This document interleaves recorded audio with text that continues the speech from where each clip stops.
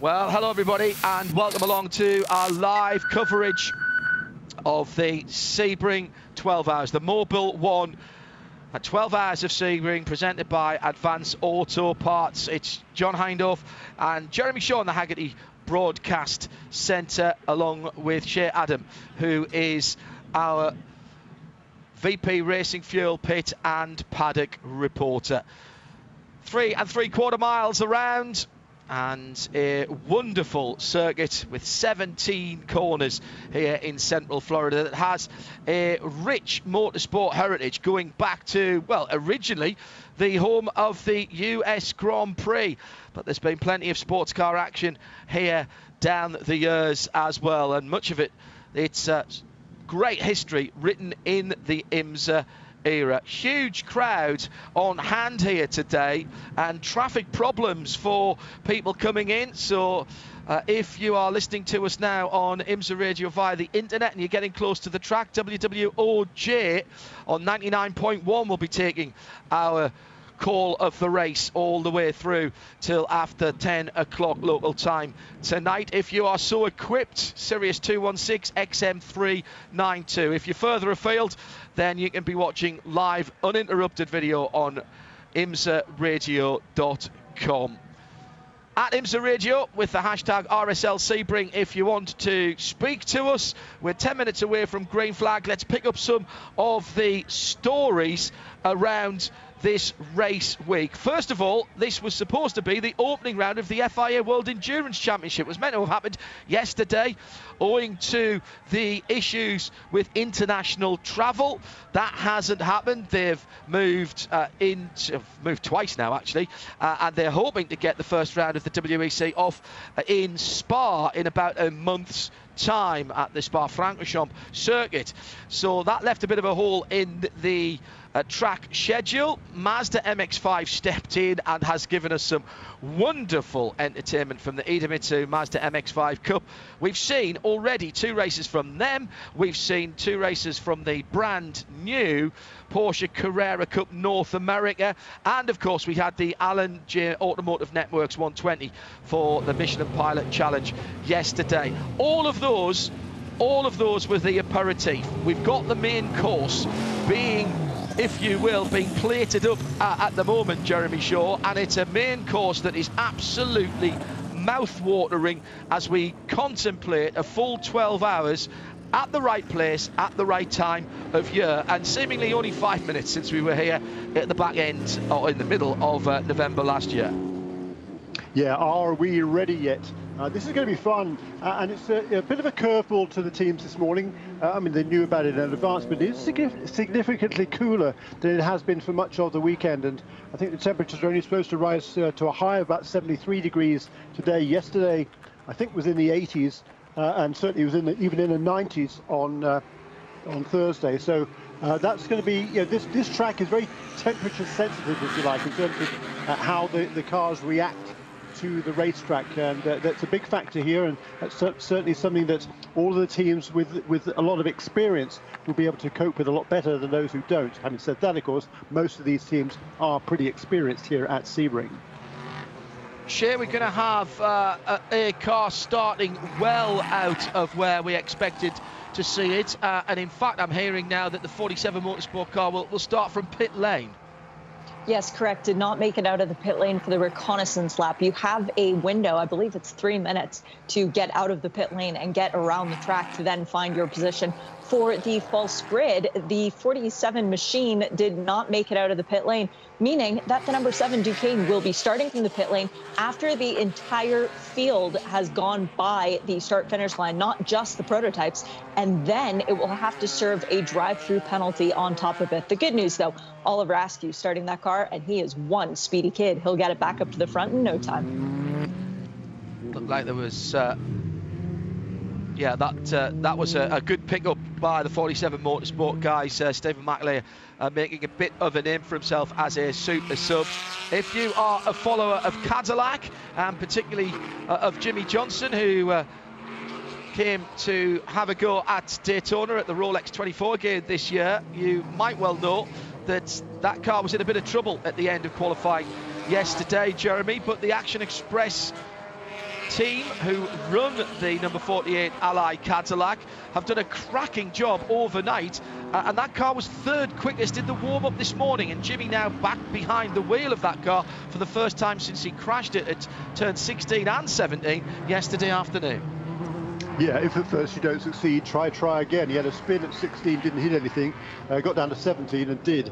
Um, no, sorry, unnecessarily facetious there, I think. Uh, but like I said a little while ago, Jimmy did show very, very good pace in qualifying, and uh, that car has been built up around a new tub. Luckily, they had a spare tub there, and they were able to get that car up again. Lucas, massively experienced team, of course, at Action Express Racing, so really shouldn't be a problem. And uh, Jimmie Johnson, well, that wasn't the first accident he's ever had in a racing car, so uh, I don't think he'll have really too much difficulty in getting himself up to speed again. I was going to ask you that. Does it does it dent the confidence of somebody with that much racing experience? And he's not sat in the car. He didn't get in the car this morning in the 20-minute warm-up session. His two teammates did. Does does that slightly surprise you that he didn't at least go out and have a couple of laps and effectively get back on the horse that threw him? Uh, yes, in a way, but uh, but Jimmy, you know, he, his his job in this race, he doesn't have anything like as much prototype experience as the as the other two. Uh, Kobayashi, of course, he's a two-time winner at Daytona in a Cadillac. Pagenaud, most of his driving uh, has not been a, in a Cadillac, so he's getting used to that car this season. They are going to be doing the bulk of the driving, so I think it makes sense for them to to have the time in the car this morning. You know, he, his job is just to to keep it clean, bring it home, and hand it over to those two to, to bring it home to the finish of the race. So I'm sure that was a strategy there as to why Jimmy didn't drive this morning. And you know, I mean, as I said before, he's, he's had lots of crashes before and bounced back right away. No Yeah, and he's going to have to do that again, no pun intended, bounce back again. High today of around about 26 Celsius, that's 78 degrees, with a few extra clouds bubbling up in the evening. Track temperatures uh, sitting around about 24 Celsius the, in the morning.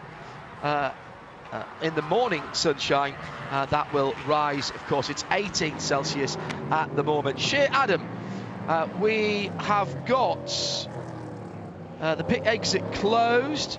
I'm just checking on the race control. All of those penalties that I'm seeing on the race control feed, I presume, are from morning warm-up this morning, Shea, correct? Correct. That is uh, the case. Yeah. Nobody got a penalty leaving the pit lane was, to go to the grid. I was just checking. I was just checking that. Uh, Shea Adam, our VP Racing Fuel Pit, and Paddock re reporter uh, there, keeping you across. Uh, Nick Damon will join us as well as our second VP Racing Fuel Pit and Paddock reporter, Jeremy Shaw and me, John Hindhaugh, in the Hagerty Global Broadcast Centre for uh, the race today.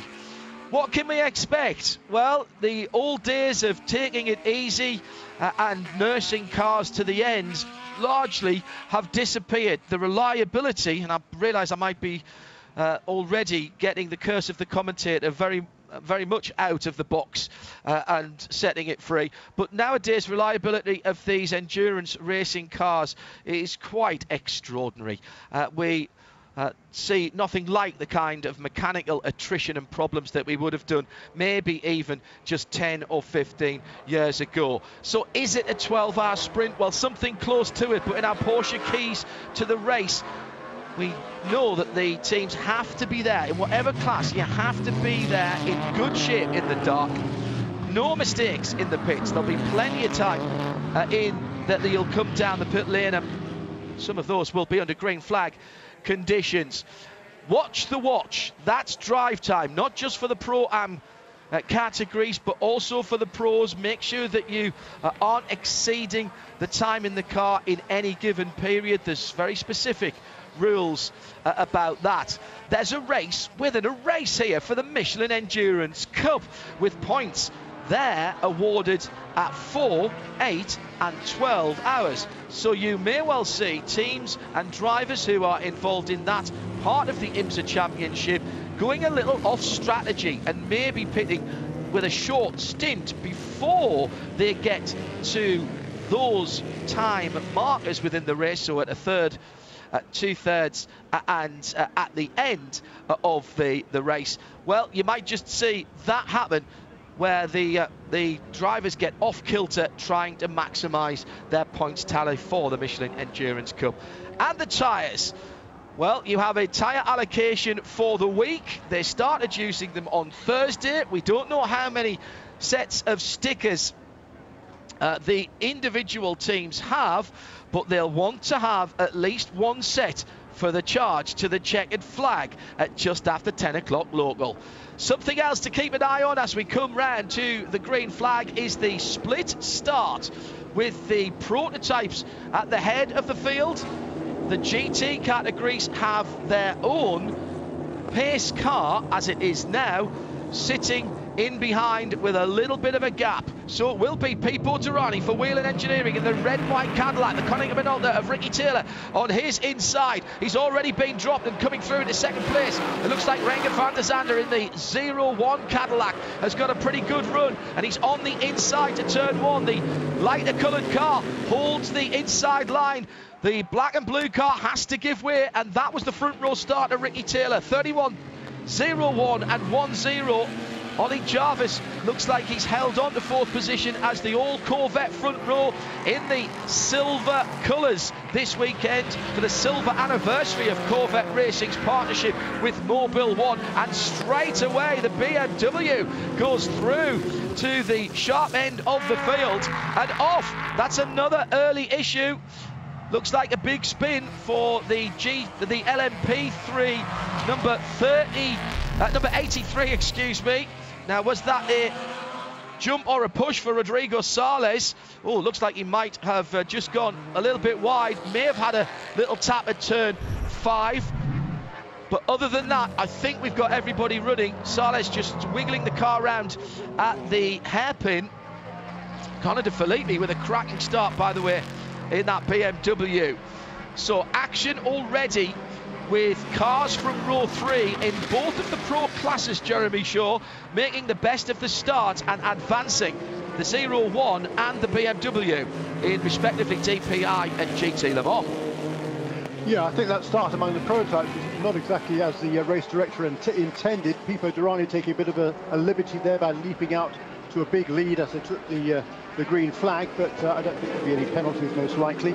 Uh, he'll get away with it. Uh, he's been around this sport long enough. He knows uh, what penalty, what, what is likely to be called for penalty and what isn't. He's Got more experience with that probably than most in actual fact. Uh, so it is uh, Pipo Derani there that leads from the pole position on the first up. A really good start there by Renger van der Zande. He was ready for that restart. Uh, and Ricky Taylor, who had started in second place on the outside of front row, probably wasn't. Uh, so uh, that's the order right now. But good to see that the prototypes, most of the prototypes, through cleanly on this first lap. Shea Adam, there seemed to be some confusion behind the at least the DPIs uh, and the LMP2s and 3s were kind of all over the place there. At one stage, they looked like they'd started single file on the back straight. Yeah, there was an issue, uh, meaning that Ben Keating did not actually take the green flag on the track. He was not rolling out when everybody else was following behind the safety cars, meaning that Ben Keating was alongside Oliver Askew when they were allowed to take the green flag. It caused a lot of confusion because Keating was supposed to be starting in the second place in the LMP2 class, and everyone else behind him didn't expect him to not be there. So then there was a lot of, oh, do I go here? Do I move up? Do I stay in my place? A lot of jockeying around and a lot of confusion that ultimately led to the LMP3 cars being confused as well. The good news, though, Keating has served his drive-through penalty for starting from the pit lane and he was followed in by Askew. So both of those penalties have been served. The other bad news, though, the start is under review. Race control is taking another look at it. That is uh, expected. They always will do. So just to be absolutely clear there, those drive-through penalties Shea were four for each of those for, cars? For the number seven and the number 52. Uh, and that was for missing. Not starting where you should have been, right. in effect. Right, yeah, okay. That's the, the good, good way to describe it. At IMSA Radio, if you'd like to get in touch with us, we're on Sirius 216 XM392 around the circuit at WWOJ 99.1 FM and around the world on RS2 IMSARadio.com. Really good start from Connor De Phillippi in the BMW. Tardy start from the outside of the front row by the second of the Corvettes, Tommy Milner, and in fact he's got two BMWs gone past him now, but it was the red Connor De Phillippi car that immediately dived into second place and then went back onto the racing line. Tommy Milner with a big wiggle coming out, which is, I think, where the second of the BMWs, the 24 car, got through in the hands of Jesse Krohn. Yes, it was.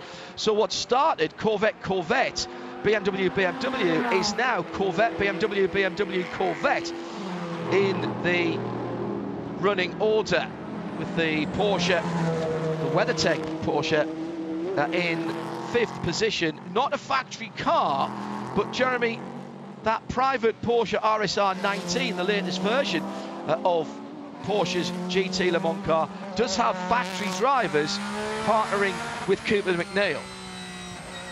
Yeah, and uh, two very quick factory drivers as well, Mathieu Jaminet and Matt, Matty Campbell from Australia. So, uh, you know, Cooper he, he knows what his job in the, is in this race. Had, he had a, a really good run at uh, at Daytona to begin the season, and uh, he's just going to you know, keep his nose clean, stay out of trouble. Yeah, so I'm not sure how much how much fun it's going to be for him, quite frankly, because he's already on his own and likely to remain so for, for much of this race. But uh, you know, I think Cooper, whenever he's driving a race car, is having fun, and particularly when he knows he's got a chance of winning, as he will do today with those two uh, factory drivers because they have been fantastically quick all weekend long. That has certainly been the car to beat in uh, in qualifying. And of course, you know, yesterday uh, in qualifying, it is the driver who qualifies the car has started.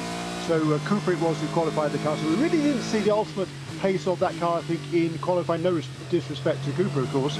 Uh, but uh, you know, when, when we get uh, down after the uh, after the pit stops are made and the other drivers take over, that car is going to be running right at the sharp end of this field in GTLM. Daniel Morad with not a great start down in GT Daytona for the GT uh, three cars. Both of the Lexus uh, went through. Aaron Telitz and Frank Montecalvo. Jan, Jan Heylen for Wright Motorsports Porsche, the 16, very pretty blue and black car that leads that. Then the two bumblebee coloured Lexus. Then in fourth position is the first of the AMGs, the Alegra Motorsport Mercedes AMG GT3. I, I suspect we uh, will be talking rather a lot about GT Daytona, Jeremy, because those uh, street-based cars do do really like a bit of a street fight. It's all elbows and arms and everything in there. And if, if we are talking about a sprint for 12 hours, this is probably the class where we will see that most obviously in GT Daytona. Yeah, I think you're right. Uh, we always see tremendous battles there, but uh, I think at GTLM uh, also because the, uh, the, the, the cars are running pretty much nose to tail at the moment, and uh, the two Corvettes and two BMWs seem to be very, very closely matched. In uh, qualifying yesterday, there really wasn't much to choose between them at all. Just a tenth of a second, or just over a tenth of a second, covering the uh, two Corvettes and the best of the BMWs. And the second of BMWs was only another two tenths of a second further back. Uh, and uh, and so I think know, we can uh, expect to see that all the way through the race. But already the GTLMs are making their way through the, the LMP3 traffic. However, mission accomplished now. With that split start, uh, it at least took uh, you know, three or four laps for the, the uh, LMP3 guys to kind of sort themselves out. So now, rather than having a clump of cars, as would have been the case if they all started together, the GTLMs can work their way past the LMP3 cars, which they are quicker than uh, on the whole, then uh, you know it's much easier to pass them one at a time rather yes. than all in a clump. Yeah, it's it's like that thing when you're on your favourite country road in the summer and you can go out for a drive. Remember that? And you get a whole load of cars towing caravans. And if there's three or four of them together, you know you're never going to get past them all because there isn't a long enough bit of straight, and your car doesn't have the Bruckheimer style 18th, 19th, 20th gears uh, and some kind of turbo boost. But when there's only one, you can plan and scheme a bit and, and nip by. That's what Jeremy's talking, pick them off one by one, effectively. Uh, at the front of the field, it is pole sitter, Pipo Derani, uh, in first position. Oh, here's the pole sitter into the pit lane from GT Daytona. This is the number 16 Wright Motorsports Porsche. Now, is this a penalty, Shea, Adam, or do they have an early problem? This is a massive penalty. It's very rare that a pole sitter gets a penalty for a bad start but Jan Heylen changed lanes on the start. That is a no-no, necessitating the drive-through that he is serving now. He's not the only car who was deemed at fault at that, though. The other one was the Ford Corvette of Tommy Milner that we saw getting passed by the two BMWs before turn three on that opening lap. He, too, changed lanes on the start, so that is another drive-through penalty. Oh, dear me. Well, do you know what? If that's the only penalty they have, our Porsche keys to the race, no mistakes in the pits. We might as well have said no mistakes uh, at all. But if you're going to have a penalty, have it with 11 hours and 50 minutes still to go. By no means are they out of it. They've lost track position. Uh, and that number 16 cars dropped way out uh, of the battle. The 16 cars dropped way back out of the battle at Porsche uh, in the at the sharp end of GT Daytona. Just want to say a quick hello to Andy Holbury in the UK, who I know is listening. Andy, very sorry uh, to hear about your, your dad's death uh, this week. Our condolences to you and all the, the family and his friends. Hopefully, the next 12 hours brings a bit of normality uh, to you. Uh, I know how much you enjoy your endurance racing. Long time since we've had a chat in person. Sirius 216 XM392 WWOJ 99.1 around the track and around the world on RS2, part of the Radio Show Limited network of channels. And the blue Porsche, yeah, pulling right across uh, in front of actually the GT Le Mans Porsche, I think. I think that was the WeatherTech Porsche that uh, was somewhat held up.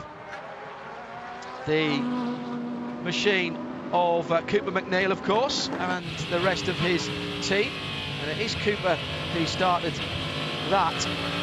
If you're going to start moving around on the start, Jeremy Shaw, um, if you uh, have a bright blue car, you really kind of don't want to be doing that.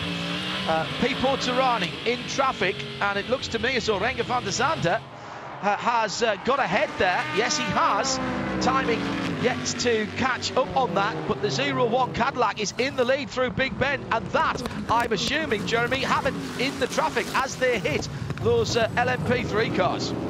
Yeah, indeed so, and uh, that's uh, what, what's interesting about that is this is a really hot pace. I mean, conditions right now at Sebring are absolutely perfect. It's relatively cool, only 60 odd degrees. The track is pretty clean. Uh, the sun's out, but it's not it's not too humid. And as a result of that, Pipo Derani already has set a new race lap record. The old standard was a 1 minute 47.472 by Harry Tincknell a couple of years ago. Pipo Derani had set the fastest lap last year here at Sebring at 147.6. He, on lap three, turned a 147.341. And even even as a result, even with that, the other the other Cadillac behind him and the two Acuras are pretty much maintaining pace with him as we saw also that change of the lead. So this is a very, very hot pace at the front of the field. Yeah, and making the most, I, I, would say, Jeremy, of the, the more temperate conditions that we have here uh, this morning, as it still is at Sebring International uh, Raceway, with a with a, a forecast that is uh, a lot more user-friendly for race cars and race tyres than perhaps earlier on in the week in terms of the temperatures. Yeah, as I was saying, exactly right. That's right. Yeah, it's perfect conditions right now. Absolutely glorious. The race cars and the drivers love these conditions. Whoops, Jimmie Johnson doesn't there. Another spin for the 48. Uh, no damage to that car on the exit. Uh, nose damage, excuse me, on the exit of turn number 17 and straight into the pits for the Ally Cadillac. Well, it's been a hard couple of days work for the Action Express crew who were running this car. They had to effectively re-shell that machine. Well, that was an odd one at turn 17. He was in the GT Daytonas uh, and catching up with a couple of cars. Tries to go around the outside at turn 17. Ah, I see. Lost it on the bumps and lucky actually not to have a bigger hit uh, from the car that he spun into. Uh, I think it was the Porsche of Pfaff Motorsport that uh, clipped the front of the car, although there was, although there was another prototype, Jeremy, in the vicinity of that, which I, am presuming was the LMP2 leader, was it? Yeah, I, I, didn't actually see it to be honest, but uh, it, it's uh, certainly not the way you want to oh. start the race, particularly. It was the Mustang It was Loic Duval. They were battling over sixth and seventh, and Jimmy was trying to take sixth position from Loic Duval. So in that case, he he just lost that position because he had been ahead of Loic Duval. Loic Duval had fallen behind Jimmy at the start, and uh, and, and, had remained so th through those first half a dozen laps or so. The back of the back end of the number 48 Cadillac, the Ally car, has been a little feisty, I think it's fair to say. And it's been moving around. The bumps here are uh, pretty extreme, of course. That is the nature of Sebring International Raceway. It has been the back end of the car that Jimmy has uh, not had a handle on trying to go wide around the heart of racing Aston and the Pfaff Porsche yeah. as he was coming through the final corner and got off the racing line. In fact, Pfaff makes the pass down the inside, so we had three wide at one stage. Jimmy trying to go around the pair of those fighting GT Daytona cars, and once you get off well, certainly beyond the middle of the road there, Jeremy, uh, things get a bit wild pretty quickly because that's not a part of the racetrack that gets used uh, very often at all. No, and probably Jimmy's been actually the only one who's been out there uh, during this weekend. That was yesterday when he crashed. Um, so uh, yeah, that's really unfortunate. And as we can see from that replay, uh, Duval was indeed still behind Jimmie Johnson, and as he came past in there with when uh, the number 48 car was spinning, there was contact between the five and the and the number 48. So we have to see whether there's any damage to that number five car as well. But it certainly was not a good start by Duval, and uh, he either elected to stay Full behind Jimmy or wasn't able to find a way past. And the result of that, he fallen back a little bit, and now with that, yeah, there is damage to the left front yeah. nose cone on that number five car. There is a full course caution though, so uh, if they uh, deem it bad enough, they will probably bring that car in for a change of nose. So, just over 15 minutes uh, gone, and we have our first full course yellow, and we see our Corvette C8 safety car for the first time. So it was indeed the Mustang sampling, number five Cadillac, that just clipped the front end. Very lucky, I would say, not to have done more damage to either of those cars. Catching a wheel or something like that could have been a suspension issue or a steering issue. This is all good news, however, for the Ally Cadillac because that does mean that that pit stop to change the front bodywork section has not cost them as much as it would have done without everybody getting packed up again. And remember, we do have the prototype split, so the DPIs go back to the front when we come round to restart. So effectively, he'll be back in seventh position, uh, exactly where he was when the car stopped rotating and came to a standstill at the, the exit of turn 17. You're listening to IMSA Radio around the circuit on WWOJ 99.1 FM, on Sirius 216 and XM 392, and around the world on RS2 via imsaradio.com, part of the Radio Show Limited network of channels. And if you're outside of the States and your territory doesn't have a network TV deal, then you can watch full, live, uninterrupted video streaming coverage from the Mobil 112 Hours of Sebring on imsaradio.com. It's Shea Adam, our VP Racing Fuel Pit and Paddock reporter in this first part of the race. Nick Damon will be joining in a wee bit later on. Jeremy Shaw is with me, John Hindhaugh in the Hagerty Global Broadcast Centre. We are all socially distanced and uh, taking the correct precautions at the moment. Uh, I, th I think it looks as the split is going on. Yeah, DPI class split. Uh, I think, Jeremy, that the front bodywork on that number five, just in front of the left front Michelin tyre, um, looks like they're not going to open the pits. I think they're going to have to make do with that for a while, but I, I think that's doable, Jeremy. I don't think it's as, as bad, certainly, as it, could have been.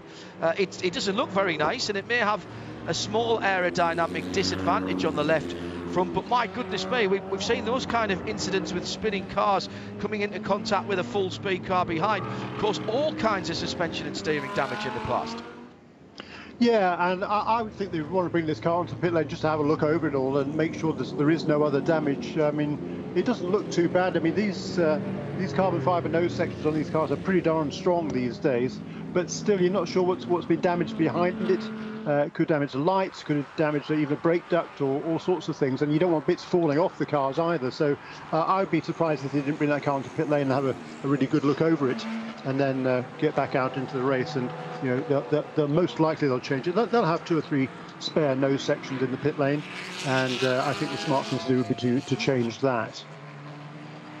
By the way, we are having uh, a slightly different procedure to what we're used to during the full course cautions in that all of the prototypes will go ahead of all of the GT cars prior to the restart. That's a, a change for this race. Uh, and uh, also, just a quick note here: uh, how how uh, how much does the traffic affect lap times? Well, uh, the, the, the lap before the caution period, the race leader's lap was a one minute fifty point, uh, point zero. The the fastest lap was a 147. So three seconds on that particular lap was caused was was cost by the, by working their way through the slower cars and and Sebring you know, isn't a track that is terribly bad, really, in terms of getting past slower traffic. There's, lot, you know, the straights uh, at various different points on the racetrack, so they can get past the slower cars. It's not like somewhere like VIR where you can be stuck all the way through the upper uphill S's and you can lose quite easily four or five seconds just through that one section of racetrack. Our VP Racing Fuel Paddock reporter, Shea Adam, keeping in touch with uh, what's going on. And by the way, thank you very much indeed to all of the uh, PR representatives from the teams, the manufacturers, and uh, also uh, from Michelin uh, and other IMSA suppliers for keeping the flow of information coming uh, in these uh, times that see very unusual working conditions. what are you hearing? This must be a quick yellow then. it was it was just about 15 minutes, but not much more since the start of the race. But uh, it looks to me as though we're not going to open the pit lane here.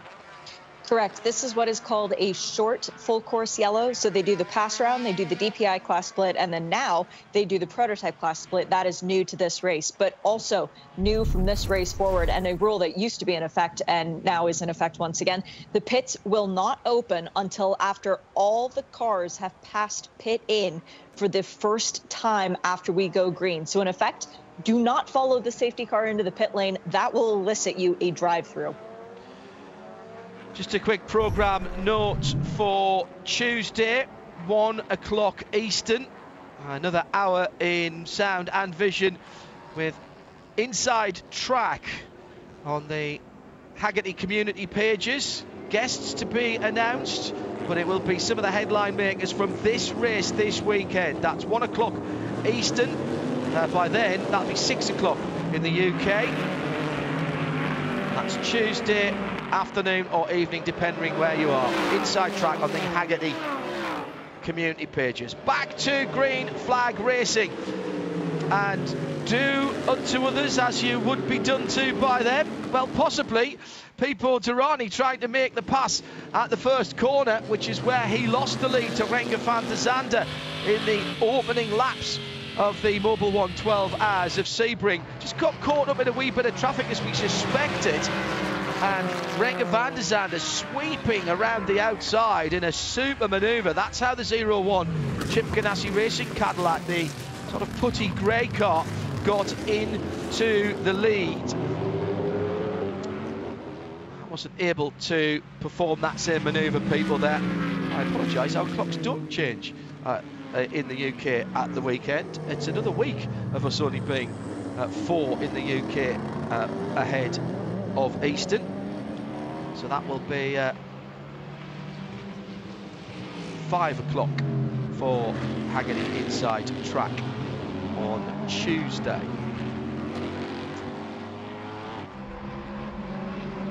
So once again, battle is rejoined with this time Ricky Taylor holding third position and keeping the two leaders honest. Ollie Pla, the very rapid Frenchman, just another half a second behind in the number 6-0. Ollie Jarvis, Oliver Jarvis in the 55. And Jimmie Johnson now just a second and a half away from the top five. So does that mean then that uh, Loic Duval came and went in the pit lane? Shea Adams. Yep, they came down the pit lane for a little bit of service. It's very weird that Ian Watt would get something wrong in the rule book, so I'm waiting to see the uh, penalty or lack thereof pop up on the race control channel. But it said very explicitly in the driver's briefing for this week, if you follow in the safety car, that is a drive-through penalty. Uh, and also, by the way, a warning for the 48 crew, improperly attired crew member during fueling. That is only a warning. It will be the only warning they get. Uh, it is a change of crew, as Jeremy mentioned earlier on, for the number 48 car. And I believe they've brought uh, some of the guys from uh, from NASCAR over into that uh, into that pit lane uh, team share. Well, we'll talk about that in a moment as Tom Milner is in the pit lane. Is this a penalty? This was his penalty that he was issued off the start for changing lanes. He didn't serve it before the full course yellow came out. You cannot serve a penalty during a full course yellow. So this was Tommy Milner's next opportunity to do so. That penalty has now been served and everybody is all squared away. And I do apologize. Uh, I threw Ian Watt under the bus. He's not on the five. He is on the 31. So apologies, Ian. So he hasn't, certainly hasn't had a penalty. That's one thing we we can say. Let's check out some of the uh, battles further down the field. LMP uh, LMP2 at the moment, Win Autosport leading by a couple of seconds in the number 11 with the number 11 car, Rasmus Lindh in the 38 Performance Tech. What a week this young man has had, Jeremy, and leads in the Ligier uh, in the LMP3 category, and he's up among the LMP2 cars as well.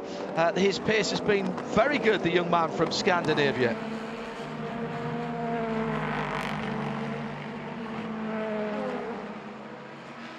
Just coming up to 11 and a half hours to go. So one full course yellow hopefully we're going to get a nice long run because what we like to see at this early part of the race is just how everybody's fuel is playing out. We'll keep an eye on that so that we can start making predictions and back time from the end of the race. That's exactly what the teams will be doing. Good opening stanza for the two BMWs, Jesse Krohn and Connor De Phillippi. In fact, Jesse's got ahead of his teammates, 24 now from 25. The dark coloured BMW M8 GTE is the number 24. The bright red one is the 25. Coming under the Mobil 1 walk over bridge now, down towards the hairpin at turn 7. Just the Michelin Endurance Cup as it stands for BMW Team RLL. Waiting to find out what else they might be doing in the future. Uh, number four car back in the pits again, Shea Adam. This time it is a pit stop for Tommy Milner. He's going to be staying aboard the number four Corvette. They did a slight change in the driver's side door of that car. Interesting. And they're checking underneath the bottom in the splitter area. They did do fuel, no tires, but using the mechanics instead to examine the back end of the car. Fuel probe is removed and Tommy Milner is sent back out. Well, that's a very odd one. Very odd one indeed. The number four is the silver Corvette with the white racing stripes over the top and under the doors. The three has the uh, those areas in red, commemorating 25 years, the silver anniversary of their partnership with Mobil One. The fastest lap of LMP2 by Ben Keating for PR1 Mathiasen Motorsports, Jeremy, and that has turned into a full season for Ben Keating in LMP2. Good to see. Yeah, very good to see. You're absolutely right. And uh, of course, he and Oliver Askew were the two main beneficiaries of that early full course caution because they'd been uh, they'd been lapped by the overall leader, but crucially not their the respective class leaders. So therefore, during that full course caution, they were able to run around the uh, safety car and take up positions at the rear of the field in their respective classes. And now. Uh, uh, ben Keating is able to work his way up through the field. Now he's, he's not only uh, back with the other two cars, but able to work his way forward again to a more representative position. The same with Oliver Askew in the 47 kind of a seven. So really, really good news for those two.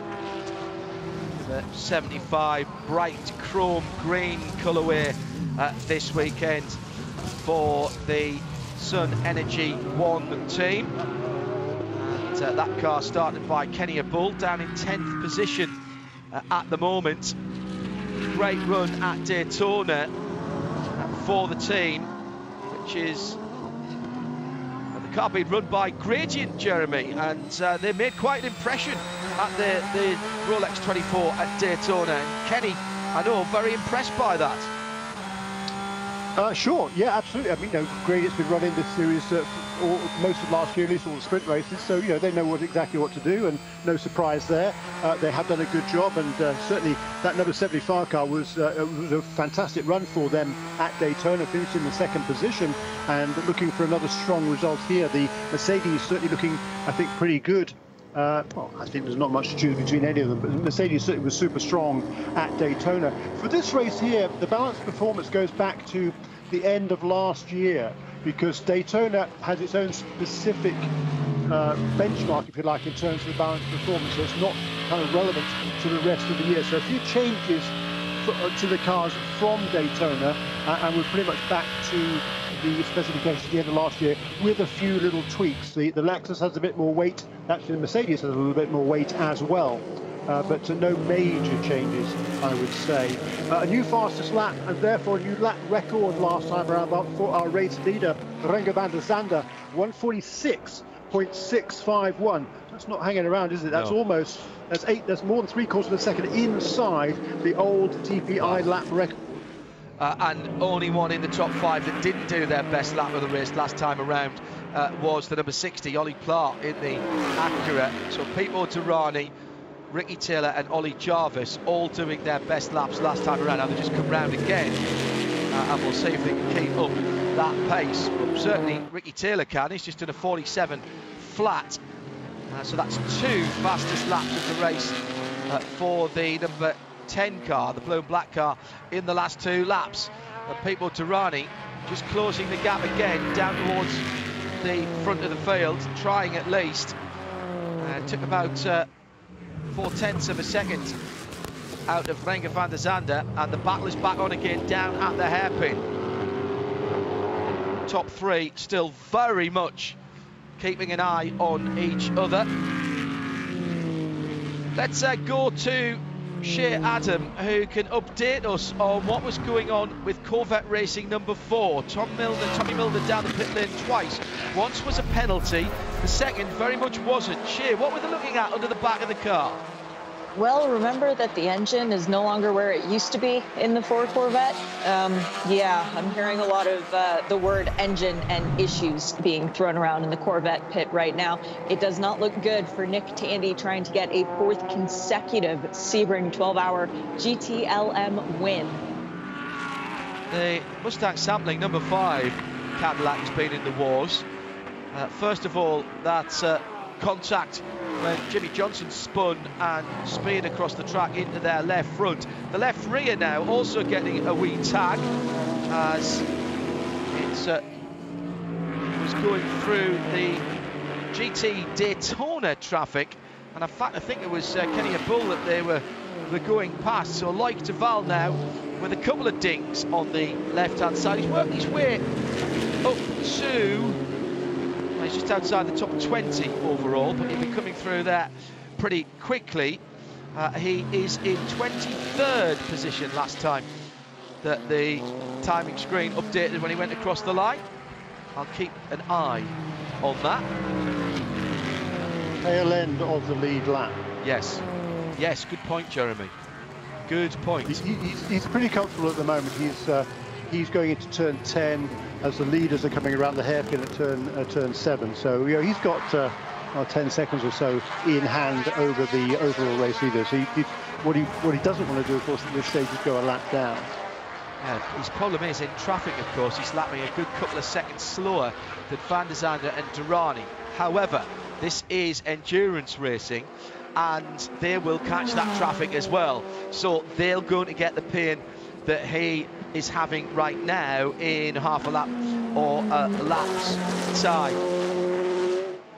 Just having a listen to that Corvette engine as it goes through turn one and it's not sounding as sharp as it should do so Shea that's a, a cracking pickup from you we'll keep an eye uh, on that and on the lap times of, of the number four GM Chevy Corvette. Tom Milner, Tommy Milner at the wheel of 59.1 last time around. So that is a couple of three seconds, Jeremy, off the pace of the rest of the uh, L, uh, the uh, Le Mans GT LM cars. Sorry. Uh, at the moment, so there's clearly something still awry with that number four car. Yeah, that's a shame, isn't it? Uh, and uh, that that unlikely to to be able to come back from that. You know, he's already. Uh, I don't think he's actually been quite lapped by the by the leader in, in the class, but he's a long way back, and as you say, not up to speed at the moment. Well, Shea's been listening into what's going on and has this from the Corvette Racing Camp on the number four in this VP Racing Fuel Pit Paddock report when he came to a stop, they had Tommy Milner do a full reset on the car, a full power reset. Tommy is actually reporting that the car feels a bit better, but as you said, still not quite back up to speed as of yet. A good distance ahead of his teammate leading the class right now. And with no traffic ahead of him on this lap, we'll have to see if Tommy can bring the lap time down anymore. But it was a scary couple of moments for the whole four crew. Yeah, uh, it's it's like anything, isn't it? You know, your street car, if you have an intermittent fault that starts coughing and spluttering or misfiring, where do you start? It's not different on a race car. They can plug the computer in, they can do the diagnostics, but trying to replicate a problem sometimes very difficult uh, indeed. Renger van der Zande, uh, in the context of this race, has broken away a bit in the 0-1 Cadillac Chip Ganassi Racing DPI. He's got uh, 1.2 seconds on Pipo Derani in second. He's got half a second on Ricky Taylor. They're working their way through traffic. They're into the GT Daytona field. The two Lexus uh, going another lap back as they get picked off. And this is what we're going to have now, Jeremy Shaw, for the next 11 and a half hours or thereabouts. Once we get into the rhythm of this race, traffic is going to be something you're going to have to deal with. yes, it is. And, and we uh, love it. yeah, yeah, exactly right. Traffic and the bumps here. I mean, yeah, the cars move around a lot on this uh, Sebring surface. Uh, and uh, you've got to anticipate what the car, the slower car, if you're ma making the, the, the, move to go past, is going to do. And also, by the same token, when you're being overtaken, you, you've got to realise that the prototype that's going past you as a GT driver is probably going to be moving around a lot more than he would at, say, someone like Daytona, which is a lot smoother, of course. So, you know, all these sort of different factors are, are taken into account by the drivers, and that's what makes this such a uh, such a challenge. Uh, new fastest lap in uh, LMP2, by the way, by Ben Keating, who'd worked his way past Dwight Merriman, so now up into third position for the PR1 Mathiasen Motorsports number 52. And as I say that, Steven Thomas, who leads the class, for Win Autosport in car number 11, seventh overall. He just reset the fastest lap, 151.987 for Steven Thomas. Remarkable story, Stephen. I was going to say, he's had a ago. good week this week as well, hasn't he? He's had a really yeah, good uh, week. He has only had a horrible week one, one, one week ago in the LMP3 car that he drives in the, uh, in the IMSA Prototype Challenge Series. Had a dismal time. He just couldn't get his head around the speed, the speed uh, limit in the pit lane. Apparently, he had two or three penalties during the weekend uh, and he just wasn't particularly quick during a race either, whereas he had been uh, at Daytona and at last towards the end of last year as well. But Uh, I, I, texted with him last night, and he just he just likes the, he feels more comfortable in the LMP2 car. It seems he likes the extra power, the extra downforce, and for somebody with so little experience, he is doing a pretty remarkable job to lead that category at the moment. Pit stop for number 31. Uh, yes, that is Pipo Derani. Now, we're 40 minutes in, which would be around about the right time for DPI stops, but we have had uh, some yellow flag. That's only 18 laps, and three of those were under the safety car. Shea Adam has this VP Racing Fuel pit report. Four new tires for Pipo Derani and a lot of fuel. My first instinct, John, was to look at the Michelin Endurance Cup points to see if the 31 might be back timing to that. Nope, they're well out of it after Daytona. Uh, half the points of the championship leader, as a matter of fact, as far as that's concerned. Waiting on fuel, perfect pit stop by the Whelen engineering crew to get the tires done well ahead uh, of time. I don't think the people... I, I, don't think the left front wheels on properly. Let me get a quick look at that again. It it might have just been an optical illusion through the catch fencing, but that looked a bit weird to me. Well, no, stayed on as it pulls out. How very odd. No, he's got up to speed. Maybe there was a bit of tape, tape on it or something that was just catching my eye. He's weaving around trying to get heat into the Michelin tyres. That is because he uh, that you're not allowed to warm the tyres at all. No blankets, no heating cabinets. You can leave them out in the sun. That's about all you could do. You could have a you could have a mechanic sit on one, I suppose. That might help.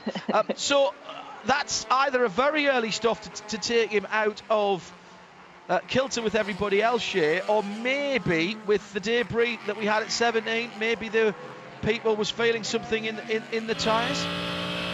Yeah, I, I can't see why they would do an early stop as far as strategy is concerned, unless that they wanted him to spend less time in the pit lane. But I say that he's now followed in. He started a trend. Oliver Jarvis is into the pit lane in the 55 Mazda as well. So that car, which uh, was the winning car from this race, what, four months ago, in the hands of Harry Tincknell and Jonathan Bomarito, now gets Oliver Jarvis, and they too are doing fuel tires. And by the looks of it, a drinks bottle change for Ollie. So maybe he's working working hard out there too. Yeah, uh, uh, it's a little bit short, particularly having had those uh, yellow flags, Jeremy, but on time it's roundabout right. It will give them, of course, an idea of, of fuel burn because they'll know exactly how much ha has gone into the car. Mazda adding their name to the illustrious Hall of Fame of manufacturers who have won outright at the Mobil 112s as of Sebring, and all of those manufacturers are chronicled in uh, in uh, chronological order uh, on the top of the pit boxes underneath the hospitality suite. Uh, Mazda very proud to have added their name to that illustrious uh, list. Renger van der Zande then by five seconds now to Ricky Taylor in second for Konica Minolta Acura. Uh, the top three yet to make their pit stops. We would have said around about 40 minutes, Jeremy, for a, a full green run, so we're not a million miles away there, are we? Oh no, no, no, no. We're we're, we're right on there, and uh, you know, it's, it's, that should, that's, I don't think there's anything untoward there uh, at all.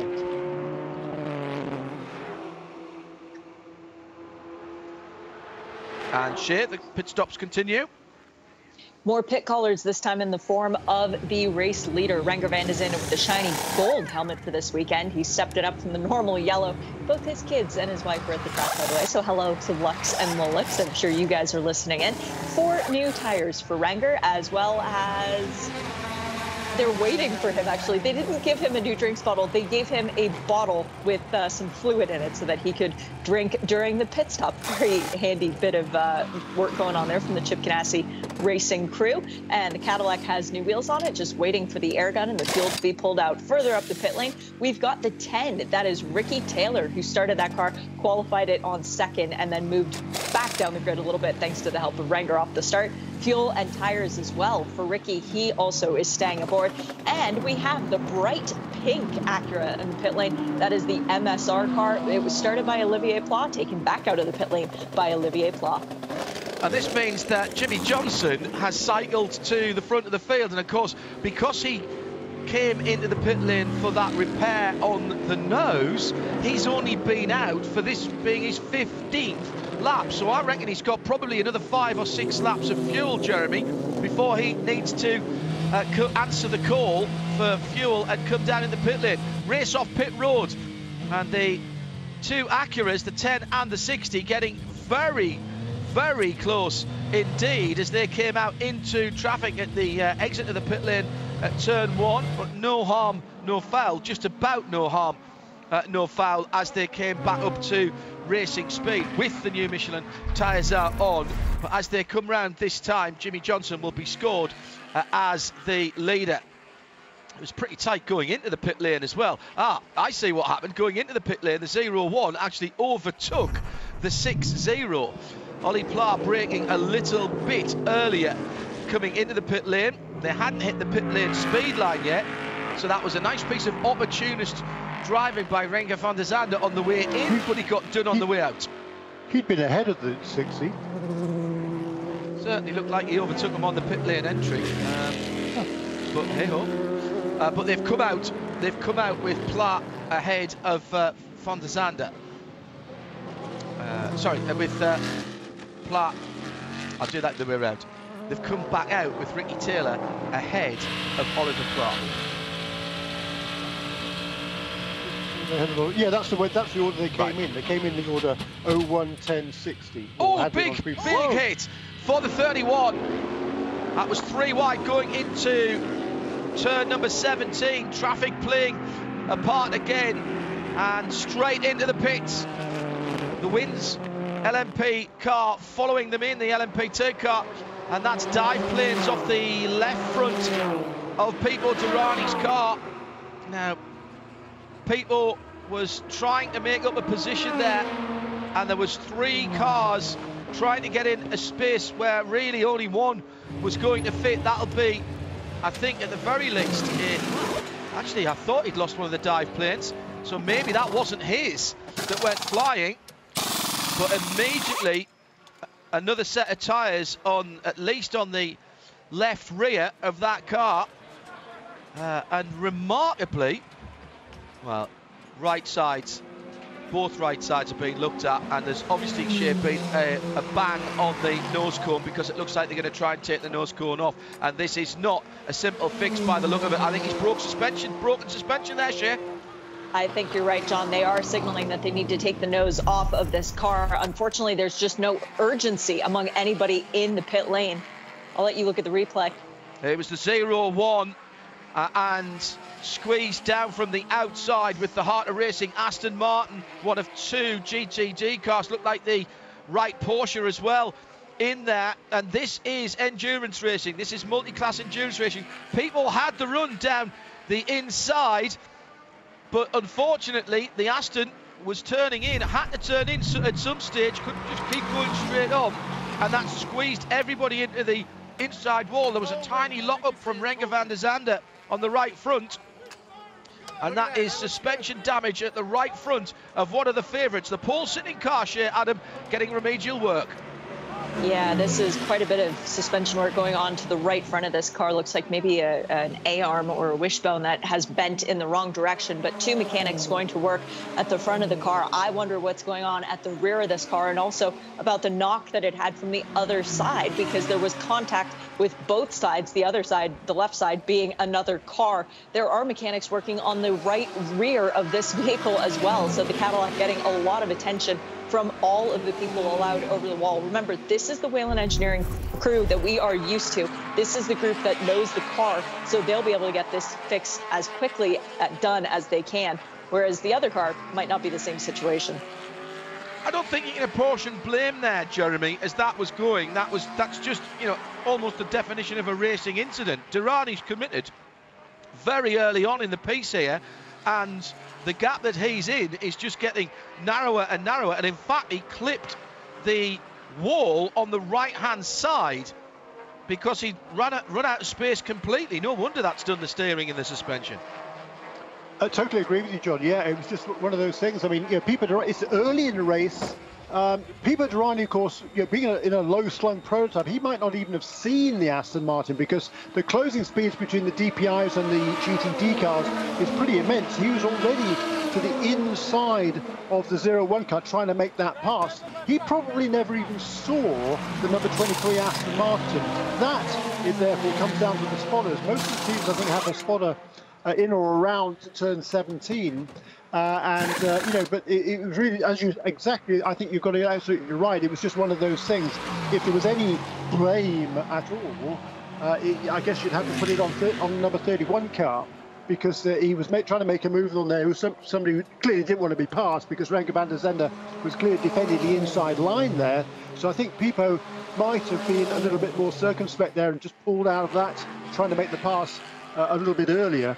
But uh, really, really unfortunate for that number 31 team, and that's going to cost them a lot, a lot of time. Just want to correct something earlier on. The car that Renger van der Zande uh, overtook coming into the pits was the United Autosports LMP2 car. That was uh, Mark who's wound back or saw it better at the time. Thank you very much indeed. There was definitely an overtake coming in, and it was uh, the United car, the number 22. Thank you, Mark, for that. At IMSA Radio, hashtag RSL Sebring. Say again, uh, Jeremy? Yeah, there are a whole bunch of cars coming down in, uh, into into that corner at the same time. Yes. Yeah, absolutely. Busy, and, busy, and, busy. And the thing is, you know, it's the old Michael Schumacher thing, isn't it? You don't really want to brake uh, any earlier than you have to for the pit lane speed line. It's it's wasted time, like as if you brake too early for a corner, Jeremy. You can gain and lose a lot of time coming in and out the pits. Yeah, yeah, you, you can indeed. So you, you've got to be, uh, you, you, yes. really unfortunate though for number 31 car because that was a really, really quick car. Uh, you know, got off to a, a, flying start from the pole position, but now they're going to be uh, quite a few laps down and you know, there's uh, there certainly is the propensity for full course yellows, which is going to give you opportunity to gain a lap back each time, perhaps. Never, never sure of that, of course, depending on where they are in the pit stop cycle for each of the cars. But uh, it's going to be a long, long way back now, and that is uh, not good for their championship uh, aspirations, of course. And you know, they were running so well at Daytona, they had problems there in the later stages. Now, of course, it's in the early stages here at Sebring. Uh, we've just gone past uh, the clock hour here at Sebring International Raceway. So let's give you uh, an in-race update from Mazda. Top of the shop is Jimmie Johnson, who is yet to make the corresponding pit stop that everyone around has. He's uh, on his 19th lap. He'll get uh, 21 uh, or 22 laps out of that tank of fuel, and we'll have an update from Shea on that car in a wee moment. He's got 38 seconds because of that pit stop deficit on second place. Renger van der Zande in the 01 Cadillac Chip Ganassi racing car, the putty-coloured car, as I've been calling it. Uh, Ricky Taylor won the battle of the Acuras off the pit lane speed limiter, so the 1-0 is ahead of the 6-0. Ollie Pla is in fourth position for MSR. Ollie Jarvis in the Mazda is uh, 55 in fifth position. And he's another two and a half seconds further back and Loic Duval makes up the top six in the slightly damaged Mustang sampling JDC Miller Motorsport Cadillac dark grey number five. LMP3, Rasmus Lindh for Performance Tech is in seventh overall and leads his category by some margin actually. Gar Robinson in second place is down in 15th position, so an awful lot of cars uh, between those two. In GT Le Mans, it's Antonio Garcia who is leading for Corvette Racing. Problems early on for the number four Corvette, but its uh, in the number three the uh, red stripes on it, is going very nicely indeed. Ahead of two BMWs, Jesse Krohn in the dark coloured number 24 M8 and his teammate Connor De Phillippi. Both of those drivers, all of the drivers have been in since the start. The 25 car in third position, the bright red car. Just, uh, by the way, under a second now between the Corvette and the second car, that uh, BMW of Jesse Krohn. LMP2, 11th overall for the win Autosport car. Steven Thomas doing a cracking job, has about a second on the PR1 Mathiasen Motorsport number 52. Ben Keating still at the wheel of that 43 seconds further back uh, is the Tower Motorsport number 8 uh, Oreca LMP2. And in GTD, uh, down in 24th position, it is now a Lexus that leads in the hands of Aaron Telitz ahead of his teammate Frank Montecalvo by a second and a half, 14 from 12 in the two yellow and black Lexus RC FGT3s. In third place, Daniel Morad for Mercedes AMG and the Alegra Motorsports number 28 car. He's about uh, a second and a half further back and has about the same on Robby Foley in the Turner Motorsport number 96 BMW M6 and the top six in GTD made up by the number one Paul Miller Racing Lamborghini, Madison Snow on board there. And the blue Wright Motorsports Porsche after its start infringement back up to sixth position after the drive-through for Jan Heylen uh, in the 16 car and he's a, just a tenth of a second further back. Leader is in the pit lane so that is your Mazda in race update. Still five minutes before the first hour of racing is done. Into the pit lane for Jimmie Johnson. Remember, off kilter on fuel, so has gone seven or eight laps further than the set of pit stops that corresponded to that from the other leading runners. Shea Adam, you've been watching that Ally Cadillac quite carefully over the last few laps. Yes, and he is about six minutes short of meeting minimum drive time. So Jimmie Johnson will need to do another stint in the Ally Racing Cadillac, but that's not right now because Simon Pagenaud has taken over behind the wheel of that car. Now, it was very interesting with what was going on with Action Express. They run two cars in the field. The other car, besides the 48, being that 31 Whelen Engineering Cadillac that was on the pit lane receiving work. They didn't want to bring the 48 in while the 31 was still there, blocking the egress of Jimmie Johnson Johnson into the pit box. So they waited and they kept Jimmie out for a couple laps longer to be able to make sure that the 31 was going to stay out, get out, and stay out, excuse me, on that. So that was uh, interesting and of note that Pipo Derani was only on lap for a on track for a few laps on those new Michelin tires. Then they put another set of Michelin tires onto the car. So John, what was one of our Porsche keys to the race? And uh, the tires? And the tires, yeah. Have some at the end. Pit stops now starting for the GT classes.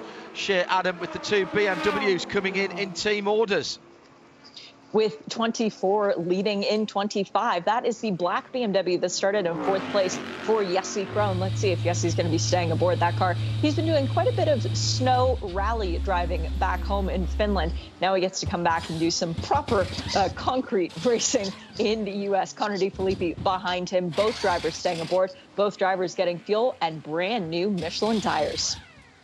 Uh, just in case you missed that. Jimmie Johnson did get out of that number 48 car after a 21 lap run since his fuel stop uh, in that uh, Cadillac number 48. Renger van der Zande retakes the lead in the Ganassi version of the Cadillac, the 01 Ooh. car. Shea a change on the pit lane. The 25 crew beats out the 24. So red BMW now leads black BMW. And uh, also a quick note, we did have the LMP3 leader down the pit lane, Performance Tech, doing their first stop of the race. Rasmus Lindh, who had run out to a fantastic lead at the beginning of this one, stays aboard the red and black LMP3 machine. Yeah, uh, none of the other cars in that category have yet made their stops uh, dropped down to fourth in class, 18th overall, and uh, Rasmus then getting back up to speed on a lovely, lovely day here at Sebring International Raceway. A little bit of high cloud, uh, air temperature spot on at 20 Celsius, and that for those of you who work in Fahrenheit is 68 degrees and it's about a degree or two warmer on the track temperature.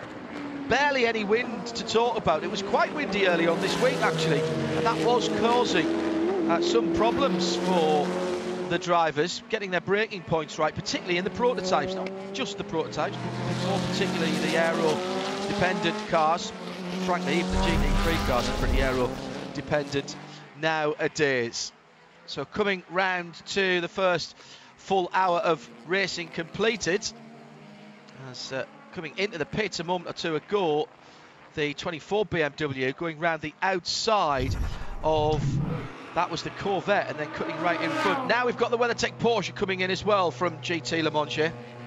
And again, short on drive time. Cooper MacNeil cannot put his feet up for the rest of the day. He still needs two more minutes until you've reached the minimum one hour drive time, but that doesn't stop them from doing a driver change for the 79 WeatherTech Racing. That was the helmet of Mathieu Jaminet getting behind the wheel. So the Frenchman going out for his first stint during this year's race. But uh, we have also had into the pit lane Jon Bennett in the 54 Core Autosport LMP3 machine, as well as Lance Willsey and Sean Creech LMP3 machine, that one, the number 33. Uh, Bryan Sellers is now in the number one Paul Miller Racing Lamborghini, and Mikaël Grenier is in the 75 Sun Energy One machine being run by Gradient Racing. Uh, another pit stop, also Christina Nielsen stays aboard the 88 Ford Hardpoint Team EBM in that Porsche. A few moments ago, just a little off at turn 10 for Jim Cox in the Riley Motorsport Ligier, fifth in LMP3 at the moment. That's the number 91 car, but he has uh, continued into the pit lane for the GTD Lamborghini and Paul Miller Racing.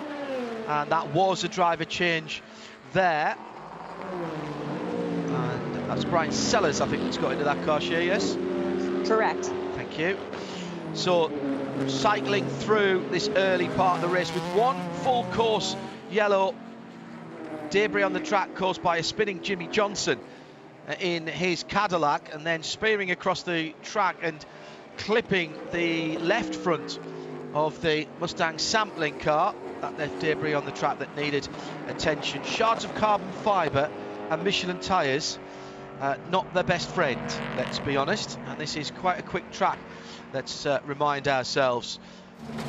Corvette in the pit lane is the number three with the red flashes. Shea Adam, this is the one that has been leading uh, GT Le Mans. This is the last of our pit stoppers as well for the GTLM category. Let's see, is it still the King of Spain? It is. Antonio Garcia not removing himself from that car should surprise absolutely no one fuel tires. Oh, I like the Mobil One sticker that they've got on the side of the car. They've got the flying horse, the Pegasus, as extra representation of the silver liveries that they're doing this year, which, by the way, in case you're seeing these pictures for the first time all weekend and thinking, hang on, where's the yellow Corvettes? Well, there is still some yellow on the three Corvette at the very least because Antonio Garcia from Spain has a Spanish flag on that car. But yes, different livery for Mobil One, and Antonio Garcia is back out on the track for what he hopes will be another hour. And just just for this race is what we're being told by Corvette Racing, Shea.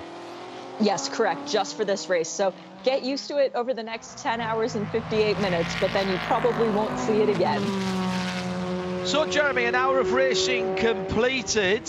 One full course yellow for that incident we've just uh, mentioned. And Renger van der Zande, that cream, sort of just cream coloured car as well, has risen to the top for Cadillac Chip Ganassi Racing.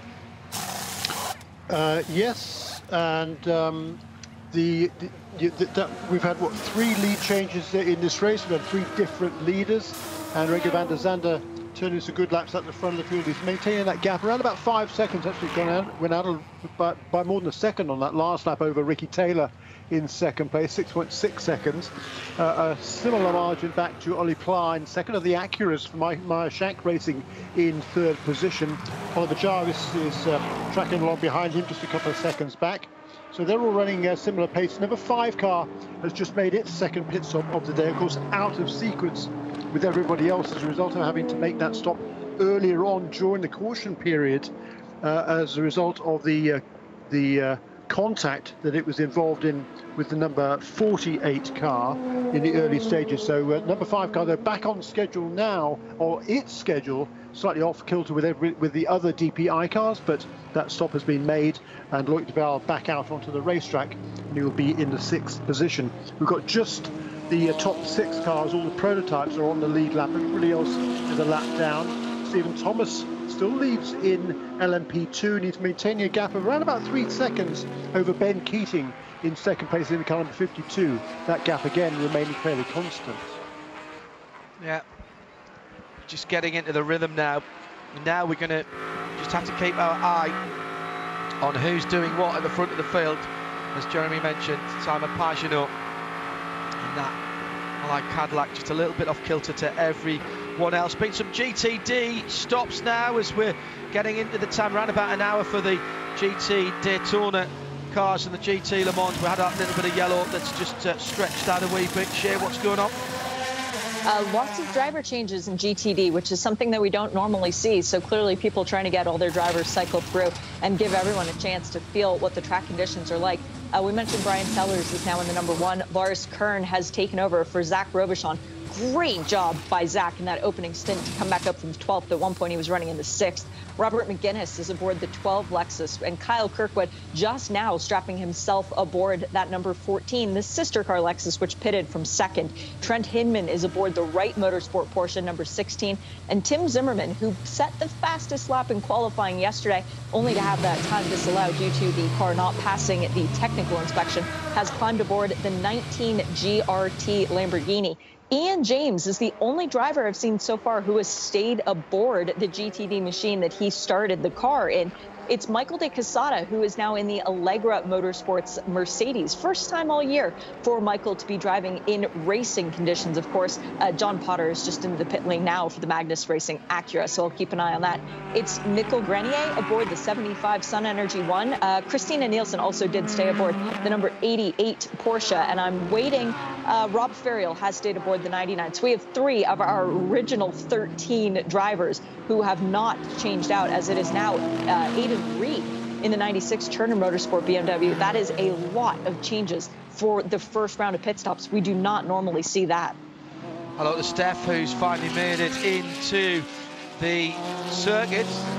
Lots of people wanting to see the 69th running of the Mobil 1 12 Hours of Sebring, presented by Advance Auto Parts. At least she was able to keep uh, up to date with what was going on. Sirius 216, XM392 around the area of the circuit on WWOJ here in Central Florida, 99.1 FM and around the world on RS2. That's the home of IMSA Radio. Every single hour of every single day of the week, month, uh, or year, there's IMSA content on there.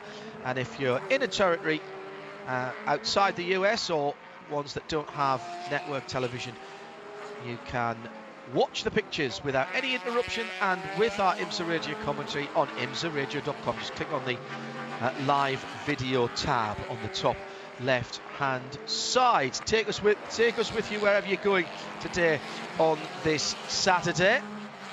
With just under 11 hours to go. It's uh, Shea Adam, our VP Racing Fuel Pit and Paddock reporter, Jeremy Shaw, and me, John Hindhaugh, in the Hagerty Global Broadcast Centre. Little sharp intake of breath as GT action coming onto the back straight takes my interest immediately. This is GT Daytona mixed in with GT Le Mans and Trent Hindman uh, with the what was the pole sitting Wright motorsport Porsche. He's got a couple of Vasser Sullivan Lexus either side of him, Megennis behind him, Kirkwood ahead of him. And further up the road, it's the Turner Motorsport BMW that is now leading that GTD class. That's a that's a decent little scrap going on there, Jeremy, with the uh, GT Le Mans cars coming through it as well. Yeah, fun, wasn't it? Uh, we got a great, uh, treated to a great overhead shot of the cars going down the Alec Straight, and really interesting to see all the speed differential between the cars. You know, I think the best battle out on the racetrack at the moment, for, for position at least, is for the GTLM lead. The three leaders pretty much nose to tail. Number three, uh, Corvette still leads, but the two BMWs right there, Connor De Phillippi in number 25, the red car, and uh, Jesse Krohn in a 24 uh, sister car as well. That's a good little battle. Those three cars very, very close together. Uh, Mathieu Jaminet, as Shea described earlier on, is taken over the wheel of the number 79 WeatherTech Porsche run by the Proton competition team, but he's a, a half a minute or so behind uh, the three leaders in GTLM, but uh, half a minute at this stage of the game means absolutely nothing. Meanwhile, well, in LMP2, all of a sudden, uh, excuse me, John, the uh, uh, Ben Keating has all of a sudden just caught right up to uh, Steven Thomas as well. So number 11 and number 52, both of the first two cars are lapped down to the overall leaders, are now together and battling for the lead in LMP2. And if you'd like to join the conversation at IMSA Radio, hashtag RSL Sebring is how you get in touch with us. Already boiling up to be very interesting indeed at the sharp end of all of the different classes. Very early days. Sure, what we can read from what we've seen, other that everybody uh, wants to wanted to get back racing as early as possible. I even had some penalties right off the start uh, for people being a little over anxious and changing lanes. But at the moment, it is Renger van der Zande for Cadillac Chip Ganassi Racing, the number 01 that leads the way. Remember, uh, Renger was last in the pits some 14 and a bit laps ago. He's probably got another six or seven, so that's 12, between 12 and 14 minutes away, isn't it, for his next stop. Exactly the same time for Ricky Taylor. Although the Acura did get, both of the Acuras uh, got a lap longer than the Cadillac. No, that's not true actually. No, it got the same number of laps as the Cadillac, one more than the Mazda on that last run with a bit of yellow in it. But uh, if you are doing your own lap chart, as Jeremy will be doing, 20 to 21 laps of green is where you expect those prototypes to be, or round about 38 to 40 minutes, depending on the track conditions under green flag running. Pagenaud then down to the hairpin at turn 7. Got the green GRT Lamborghini to go through. Slips to the right hand side through turn 8, the kink. Now into turn 9 and 10.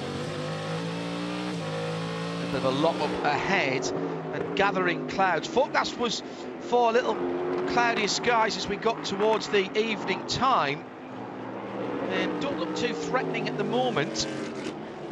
Still quite high and spaced out, although there's a little bit of darkness in them. They're not white fluffy clouds. He's the leader across the line. Renger van der Zande then clocks up another lap, completes 36, and that's a new lap record, Jeremy.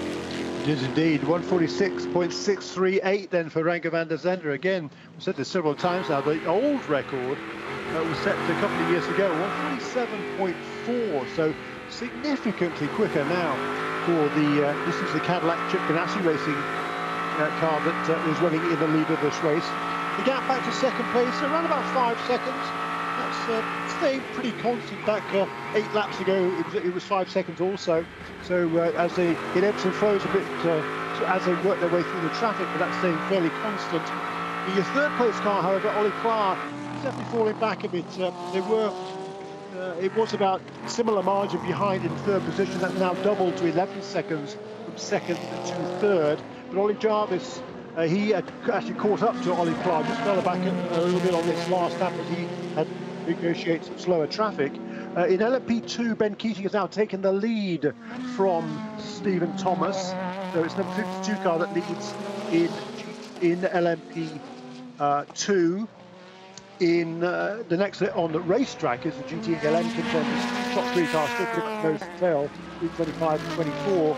In LMP3, behind those three GTLM leaders, Rasmus Lindh still, still leads the LMP3 category four, the uh, South Florida-based team Performance Tech Motorsports, and he's got about yeah, probably half a minute in hand over Oliver Askew so in the kind of a 47 Motorsports Centre Duqueine and spoke to Oliver yesterday, last night and uh, he's not particularly comfortable in the handling of that Duqueine chassis 7 Motorsports. He's rather hoping that the experience that uh, Stevan McAleer has in that car will help him as racing president. Those two maintaining their grid positions from the start. Gar Robinson doing a really nice job in the third place in the class for Riley Motorsports, car number 74. He's only about five seconds behind Oliver Askew, so that's a really stout effort for Gar Robinson in car number, L, in car number uh, 74. In GTD, well, uh, yeah, Kirkwood pulled out just a little bit of a gap. Still at number 14 car that leads now. Uh, we should mention that the number 16 car, Trent Hindman, was taking over the wheel of that Wright Motorsports car. That was another big beneficiary from that uh, early full course caution because you remember number 16 car had to serve a penalty shortly after the start of the race for being uh, out of position. I think it was at the start. Uh, so uh, that car had fallen a long way back, but uh, got back up into contention. And we've seen how fast that number 16 car is because uh, Jan Heylen put it on pole position for the second time in as many races here at Sebring, and uh, that car now up into second place in 16 Porsche in GTD, John. Yeah, he changed his lanes at the start, didn't he? And chopped across actually in front of a, a GT Le Mans Porsche, in, uh, and that's what got him the the drive through penalty. But as you say, they've made that back now. And, and the funny thing about that is, it looked it looked from our perspective that the, the, the prototype uh, start was the messier of the two. It was untidy, I'll give you that, yes. Uh, yeah, it was. Uh, so, you know, they, they, were all spread out. Kind of, made kind of difficult to judge where they were in relation to the other guys. There's cars kind of shocked up a couple of penalties uh, at the start for being out of position. Number four, Corvette being one as well. Hello to Jamie McEwen enjoyed the first hour.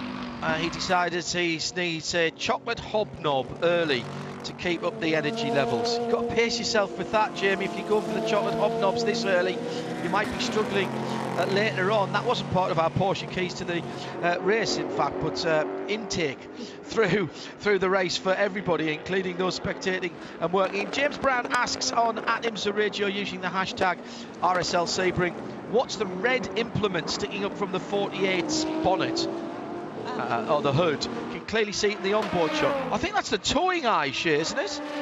Uh, yes, and, and also in terms of the driver, that is the uh, fire here, the missile toning thing that they use. Yeah. Uh, no, it is the tow It's the sight. It's the uh, it's yes. the gun sight. Yes, no, it's the towing eye, uh, which is uh, sticking up. some of the cars, that lays flat and it, and it, can be pulled up and locked up with a pin.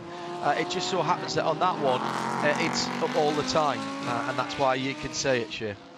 It, it, should be flat, but his spin has actually knocked it up, ah. and the team didn't put it back down. Uh, normally, you don't get that sticking straight up into the air, but every time a prototype spins, you do tend to see those tow hooks uh, rising and shining and then staying up for the remainder of the race. So that, James, is what you were asking about the number 48, the Cadillac. And uh, that is what it is. That's what it's there for. Hopefully it won't be required.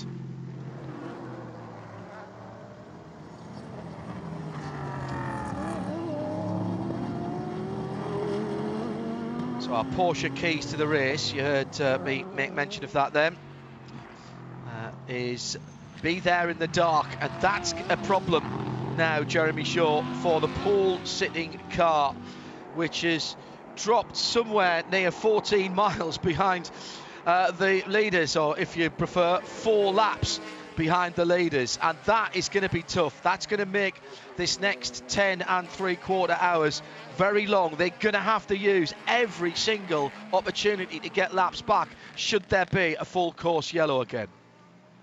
Yeah, that's right. I mean, a super job really by that uh, number 31 team to lose only four laps uh, with that uh, suspension uh, change they had to make on number 31 car. Uh, he's not, I'm sure where he is on the racetrack, actually, just trying to find him on the uh, Mark Chianti. You can't actually see it at the moment, but I, I don't think he's uh, close to being able to get uh, one of those laps back. So yeah, he is going to need the help of the. Uh, coming on the back straight now, sure. Jeremy. Um, and uh, thanks you to Alicia, who's just punched up the on board from the number 31 of Pipo Derani. Sits in 24th position then. Uh, and, and he make up some positions there because he's got LMP3s and GT cars on the same lap as him. He's got a whole, he's got from seventh down to uh, fourth in LMP3 on the same lap that he is working at the moment as he goes into turn one and commits so quick now into turn one, isn't it? Really is for these DPI cars. So he will make up some positions on the timing and scoring monitors, but he's not going to improve for quite some time, uh, or unless anyone else hits problems in his own category. So he's staying in seventh uh, for quite some time. The leader, by the way, uh, is the 0 1 and that car is, well, Pipo's just gone through the hairpin and the leader is coming to the hairpin about now. So that'll give you an idea of uh, how much ground Pipo has to make. There are people who are driving very quickly though, including the engine that you can hear uh, behind us, which is well, actually that might not be the right engine, but uh, that's Simon Pagenaud in the Ally Cadillac. That's the number 48 car. That has just done another new fastest lap, which means another lap record. Yeah, indeed. So uh, clearly, uh, we, Jim Johnson was clearly struggling uh, before uh, handing over that car because there was that damage on the front of the car. They, they changed the nose during that pit stop, and now Simon Pagenaud is showing the true speed of that car. So it's a new fastest lap of the race, as you say, John Hindhaugh, 146.512. Boy, the, the, uh, the pace of this race is fast. Conditions are perfect. Drivers are absolutely loving it out there right now. A new uh, fastest lap for their race for Steven Thomas in the Win Autosport LMP2 car. That's the number 11 Oreca 151.2 there. So some of the drivers absolutely loving these conditions at the moment, as Jeremy says. Uh, Dwight Merriman heading to the pit lane for Era Motorsport. Shea Adam, the number 18 Oreca, is in the pit lane. And this is on time. This is triggering the next round of stops for our LMP2 contenders. And We should be getting our DPI contenders down the pit lane shortly as well, since they've been on track for about 38 minutes for the longest of them. That's a couple of laps early for Merriman. He's, he's Well- only just completed, well, oh, maybe one lap early. It's, 18 it's laps. strategy. It's strategy. They're going to pull Dwight out of that car and put Razzle Dazzle in for his next stint. Yeah. So this will be the first time that we see the Flying Scotsman around the track. And uh, hello to Kyle Tilley, who's listening in to us right now while enjoying a little bit of pasta in the RV, saving up strength for his first stint later on. I wonder what secret he's going to tell us today that he hasn't told his uh, PR machine, uh, he did, can let that one uh, out of the bag. Also coming in the 6-0 MSR car, uh, and that is uh, spot on. That's a, another 90, 20 lap stint for Ollie Pla, Jeremy. Yeah, and uh, so absolutely right, not on schedule there. Uh, super first first stint there by Dwight Merriman, by the way, in the number 18 car. Car that won, of course, at uh, Daytona. And he was you know, holding his own there in the third position. He was yeah, 15 seconds or so behind the, the two leaders. But after 40 laps, you know, very, very good effort by uh, Dwight Merriman. Good, good job by him. And that would be Razzle Dazzle, as Shea Adam tells us. Ryan Dalziel, for those that don't know. Spin down at the hairpin, and that is turn number seven on your track map, ladies and gentlemen. Uh, and that is the Sean Creech Motorsport number 33 in its red, white, and blue colours. Uh, facing the wrong direction and would appear without any fire in the V8. Now it's fired up, now it's moving uh, forwards. And Lance Willsey has got a bit of grass tracking onto the old circuit and heads back out the right way around the track. Don't think there was any contact there, but I don't know how he ended up facing in the wrong direction in the first place, whether uh, he was helped slightly. Front of the field then, starting their pit stops again, uh, and it's Ricky Taylor and Ollie Jarvis for Acura number 10 from Konica Minolta and Mazda Motorsports number 55. Shea Adam. Last time that we had pit stops, the Acuras were in together. This time, the MSR Acura coming in a lot before the Konica Minolta Acura. This again, no driver change. So Ricky Taylor going back out for another stint behind the wheel of the glossy black Acura. I paused there to give people a little bit of pause. And uh, also further down in the Mazda world, the 55 is into the pit lane. Oliver Jarvis bringing that car in. I believe the plan was to leave him aboard for another stint, but we'll have to wait and see when he triggers the pit out. Also into the pit lane of note was the number four Corvette of Tommy Milner. This one is the silver with the white accents on it. And Tommy, I believe, will be aboard that car as well. Uh, and for those that follow these things, Ollie Jarvis uh, did a lap further on that tank of fuel than he did on the previous one. Uh, and uh, so that's interesting.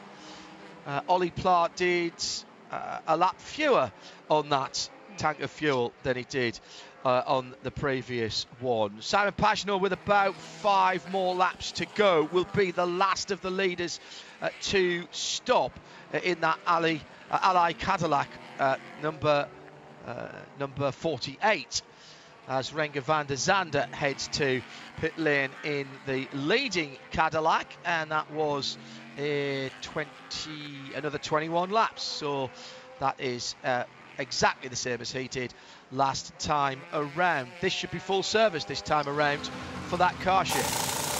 It should be, but let's see if Renger stays aboard or if they decide to find a crowbar and try and get him out of the car. He's sharing this 01 Cadillac Chip Ganassi Racing beautiful race car with none other than Scott Dixon and Kevin Magnussen, rookie to the Mobil 1 12 Hours of Sebring. You can't often say rookie when you associate Kevin Magnussen, but fuel tires and away the car goes. Uh, is that still a gold helmet? I No. think that's still a gold Oh, it is. helmet. Yes, no, you're right. It is. I just saw the the flash uh, of the sunshine on there. So Renger, um, not good at sharing, clearly. We knew that. yeah, well, that's true. I don't think we had to be be told too much. Goes through the RFID readers at the end of pit lane, so that the tyre information are relayed to uh, IMSA. No, it's K-Mag. That's K-Mag's helmet. Sorry, I, I I second guessed myself there because you're normally much better than that, uh, than me at that, with your eyes being considerably younger, less miles on your eyes. So Pagenaud back in the lead uh, with the fastest lap of the race as well, a new race lap record for the number 48 Cadillac. And as I say, about four more laps to go for that. Remember that off strategy caused by the pit stop required to replace the nose cone, the whole of the front of the bodywork on the 48 car after that early spin and contact when Jimmie Johnson started that car uh, in the opening stint of the race. You're listening to IMSA Radio. It's live coverage of the 1 12 Hours of Sebring, presented by Advance Auto Parts. We're down to 10 and a half minutes to go around the track on 99.1 FM. Further afield in the US, Sirius 216 XM392 and around the world on RS2, the home of IMSA Radio. Every day, every hour, every week, every month. Always IMSA content on RS2 IMSA Radio via imsaradio.com. And if you're in a territory that doesn't have a TV, uh, coverage for doesn't have TV coverage for this event, then tune in to uninterrupted live pictures with the IMSA Radio commentary on imsaradio.com. Keep clicking the live video tab on the top left hand side. By the way, timing is available at imsa.com. The Al Kamel system available to you there, so you can follow along as we do here in the Hagerty Global Broadcast Centre. So let's just going to start another set of uh, pit stops. In comes Steven Thomas for Win Autosport, the number 11 Oreca. Check.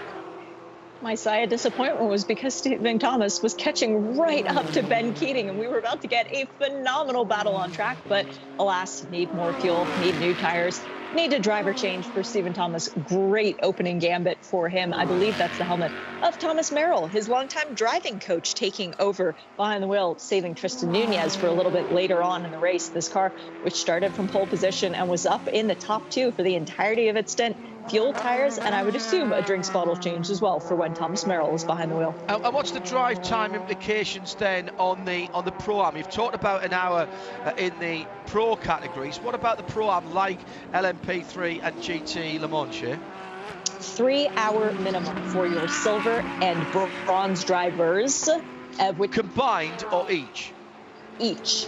So three hours per silver or per bronze driver in the car, meaning that you have to do your fair share of the race in order to come away with a W. And uh, the other thing that you have to keep an eye on, seven hour maximum drive time and no more than four hours driving in any six hour period.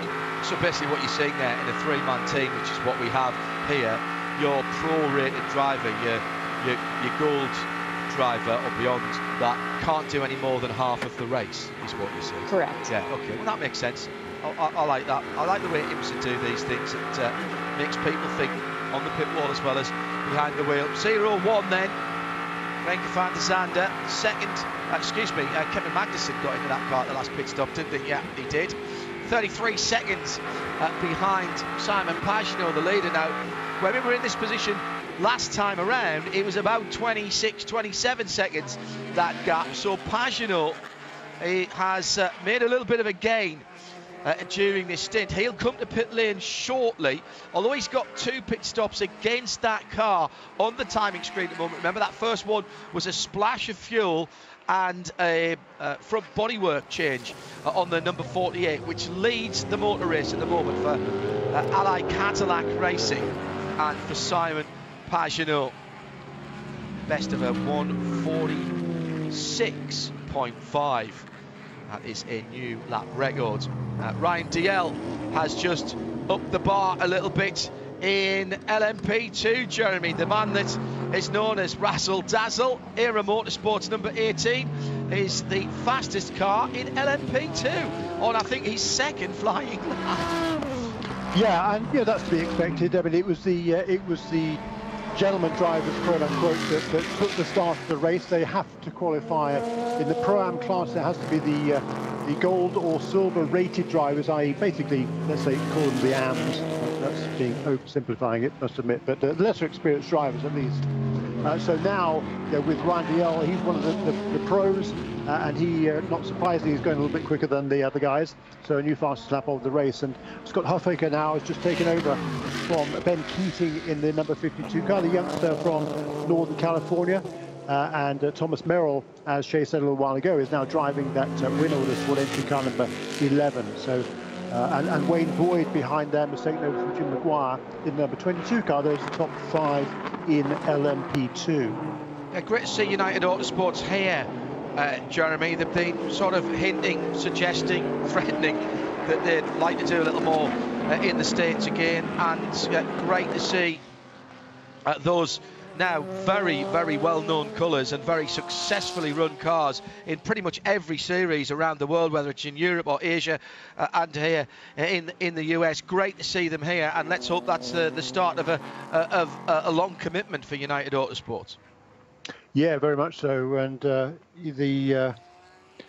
Uh the you know, th- that is they've sort of set up a, a, base over here in the US and uh, are you know, planning to do or will be doing, I believe, the uh, rest of the Michelin Endurance Cup Series this year, and uh, perhaps a full campaign in 2022. So uh, you know, hats off once again to uh, Richard Dean and uh, Zak Brown and yeah, everybody else at United Autosports. It's a, it's a big step for them, of course. Right now with the with the with the global pandemic, it's not easy. Oh yikes, that was a bit Brave going to turn one, three cars abreast there, different classes.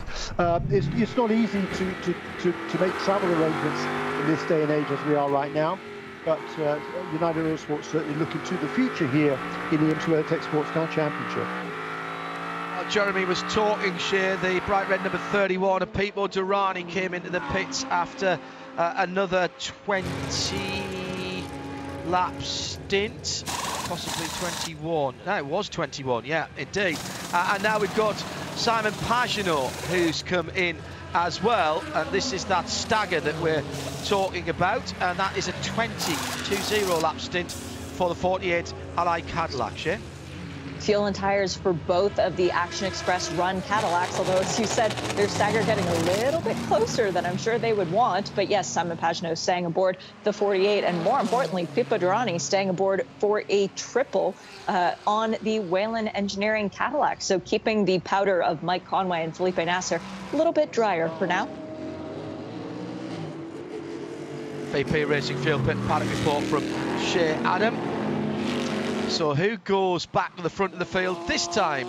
Well, it's going to be the Konica Minolta Acura ARX 05, the number 10 car with Ricky Taylor uh, on board. Uh, is that the first time that car has led, Jeremy? Uh, as it comes across the. Uh, yeah. Yes, I thought it was. It is. So that's another lead change and another yeah, our, leader. That's right. Our, our sixth uh, different uh, lead change uh, and our fourth different car that's taken out front. So he's got his way past uh, Kevin Magnussen on that last lap. I don't think we saw that, did we, on, on our uh, on our footage? But uh, yeah, change of the lead, it would appear. But a cloud Not gathering. Sorry, go ahead, Jeremy. Well, uh, they haven't yet come across the line, but so the uh, number 48 car will be shown still as leading lap 47 uh, but uh, uh, but next time around when they do cross the line, as it should be any minute now, uh, we believe it's going to be Ricky Taylor out front. 48 Cadillac already in the Jean de Bihan bends turn 14 15 and heading towards the back straight through Le Mans curve at 16 Ricky Taylor goes across the line as Jeremy was finishing that sentence and he has three seconds on Kevin Magnussen. So that's the gap now Jeremy at the front of the field not sure what happened 1 0 0 1 yeah the other interesting thing is that Loic Duval is uh, closed right up on Jonathan Bomarito. Yeah. He's been in number 55 Mazda. There was uh, that, that gap's come down by a second or so each of the last four laps since Jonathan took over the wheel of that car from Oliver Jarvis. Not quite sure why that would be. That was one of the cars that did manage to do 22 laps on that last stint. Uh, that and the number 01 car both did 22 lap stints. Most of the others doing 20 or perhaps 21. So that's certainly something we're going to keep an eye on as this race progresses. Now we're going to get the rest of the prototype starting to come in and the leader in LMP2 from 7th position, Timothy Buret for Tower Motorsports. That's the number 8 Oreca, Shea Adam. That is a driver change. I believe that's Gabby Aubry getting behind the wheel of the number eight, meaning that this car will have cycled through all three of their drivers. They were actually in the lead because the number eight made a pit stop very much out of sequence and very much earlier than it should have done. It had only been on uh, track for about eight minutes at the time, and this was well within the first hour of racing. But now they have managed to get all three drivers into the car, finishing the driver change and waiting for the seatbelts to be done. Ooh, that was a slightly slow driver change. The fuel probe unattached about two seconds before the car actually managed to get rolling. So a little bit of time lost for Tower Motorsport. But this is one of our teams that is invested in going for the Michelin Endurance Cup. They come in leading after Daytona 16 points, whereas ERA only has 13 points. So perhaps they're doing a little bit of jiggery and pokery to try and get to the lead at that eight hour mark. If you're on IMSA.com, you can look at the onboards, of course, and one of them is one of those uh, onboard cameras is from the 48 Cadillac, and you will notice uh, that the gun sight has disappeared because uh, the window cleaner, uh, not the guy who comes around with a ladder, a bucket and a sponge, by the way. Um, the chap who was cleaning the windscreen on the 48 in the last pit stop uh, took a bit of tape with him and just slapped that down and threw a bit of tape over the top of it. Uh, thank you, Stephen Gardner, for noticing that. I had uh, noticed it and then forgot to mention it. So thank you for reminding me of that on at uh, IMSA Radio using the hashtag RSL Sebring. So Ricky Taylor leading by nearly four seconds now to Kevin Magnussen in second, Dane Cameron in third with Jonathan Bomarito in fourth respectively. That is Acura Cadillac, Acura Mazda. Uh, the first two looking um, somewhat binary, 1-0 and 0-1 in the first two positions. Then the 60, then the 55, the top pick. Uh, a six made up by the number five Mustang sampling Cadillac. That's the JDC Miller Motorsport car with Loic Duval still at the wheel and Simon Pagenaud for uh, Ali Cad Ally Cadillac. Uh, now back up into sixth position. We said it would take them a while to get there, um, and uh, they have done, but it's still the 31 uh, that is out of position We're down the field, having dropped four laps. Shea. Uh, just hearing from the pit lane that Turner Motorsport, currently with Aidan Read behind the wheel, they've been turning very, very good times, but they have an electrical gremlin. So that is something that will continue to rear its ugly head throughout the course of this race. Uh, electrical gremlins uh, uh are uh, so unreliable. I prefer the older technology and having a clockwork gremlin. That one, uh, at least you know when it's going to run down and stop working. Um, Okay, well that's that's bad news. Um, did we get to the bottom of what was happening with Tommy Milner's car? He's still circulating, uh, but he's still circulating uh, off the pace of the the rest of the uh, the GT Le Mans runners. There was uh, a pier under the uh, back of the car to the bottom of the engine, which of course is in the middle uh, of the car now in the C8R Chevy Corvette. Uh, and but he's still running. He just he, he's still not running at the pace you would expect to see see that car ticking off the the lap sheet. No, and, and the last that I heard from that car, which by the way, Turner Motorsport have now come into the pit lane to try and address the electrical gremlin, so that will be a longer stop for them. Um, Tommy Milner was just going round and around trying to make sure that the problem did not reoccur. But when they did that forced uh, restart of the system, the complete, in effect, control alt delete of the car when it came in the first time, it did help out. And then they did it again on the second stop. So now things seem to be going okay. But as you said, not quite up to the pace of the front runners, but also Tommy Milner does not have Connor De Phillippi and Jesse Krohn right behind him pushing him along like Antonio Garcia does. Shea Adam, our VP Racing Fuel Pit and Paddock reporter. Jeremy Shaw is with me, John Hindhaugh in the Hagerty Global Broadcast Centre as the uh, BMW in the Liqui Moly colours goes behind the wall. So Electrical Gremlin has escalated uh, and Shea Adam already trying to get the details. Meantime, the number 99 Porsche has had a rotation at turn number seven. That's the hardpoint EBM car. That's the Rob Ferriol, Earl Bamber, and Trenton Estep car. And back end of that car looking very, very loose indeed. Turn 10 also with a big sideways slide. It's Rob Ferriol who's driving that. They were 11th, just ahead of Christina Nielsen uh, in the sister car, literally, um, of the 88 machine. EBM is Earl Bamber Motorsport, who have teamed up with Team Hardpoint to run those GT Daytona Porsches. Still trying to make places back up coming back up through the field. Pipo Derani now in 21st position. He's working on lap number 48. Leaders are on 52, so he's still three laps down. Lap pace pretty good, there or thereabouts with the leaders, but really taking any time out of them. He's going into turn number 17 now. The leader's coming onto the back straight. Well, actually, maybe pulled out a little bit half a length of the back straight since the last pit stops.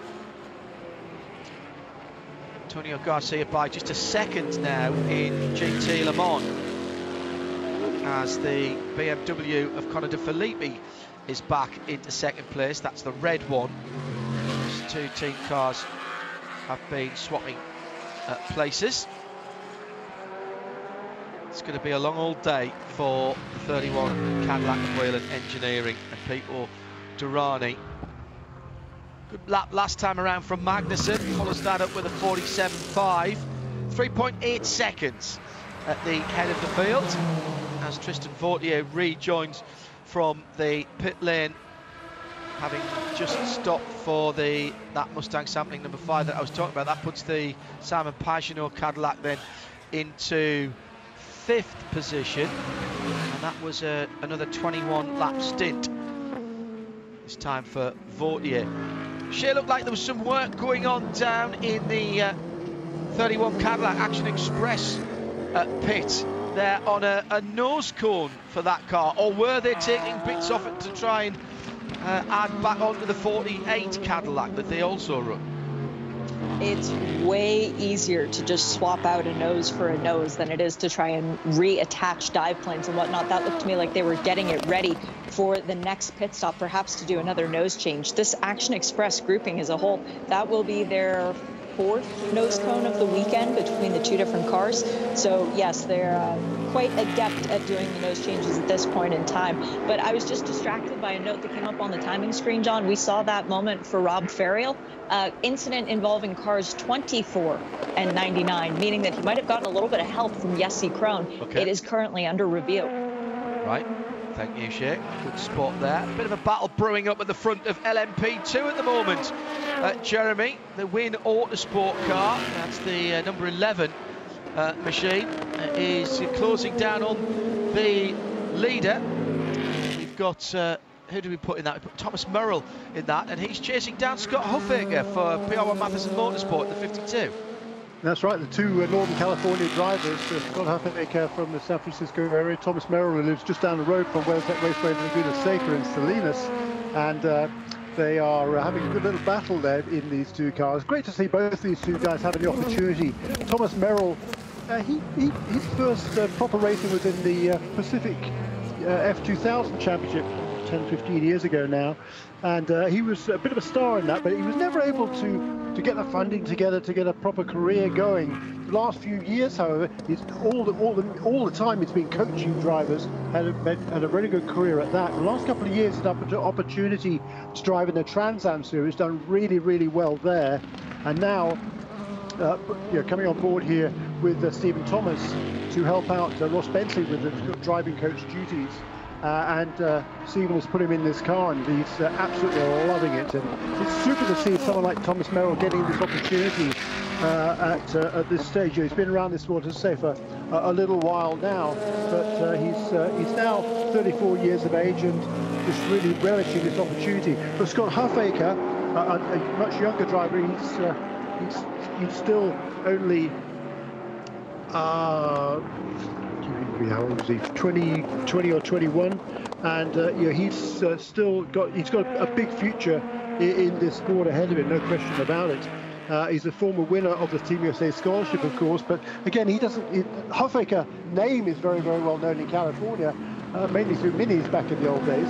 Uh, but uh, he's not a member of that particular family. But, uh, but Scott Huffaker has a, a, big future ahead of him. And as we say that, he's just come across the line to set a new fastest lap of the race in LMP2. That's Scott Huffaker in the number 52 car for the also California-based PR1 Mathiasen Motorsports team. And that is a new lap record there as well uh, in race trim uh, for Scott Huffaker in LMP2, I believe, a 49. Yeah, it is. Two. Oh, yeah. big incident down uh, at turn seven. Now, was that what happened early on? No, that is the right car. It happened a couple of seconds ago.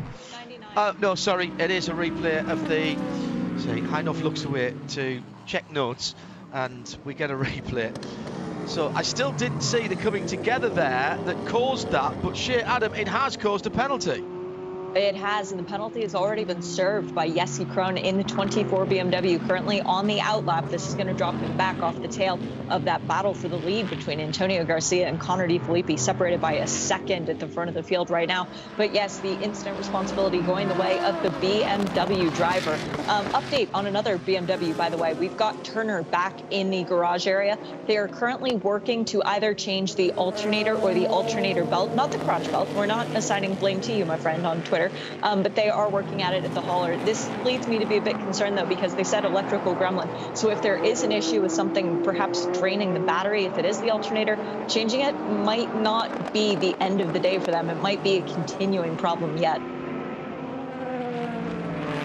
Yeah, if you electrical gremlins we thought, but if the alternator isn't being driven properly or isn't putting out the right voltage, all of these uh, cars nowadays uh, yeah. like to have um, well, all their ECUs like to have a fairly stable power supply, Jeremy, and, and that that could be the yeah. start of a very long day indeed.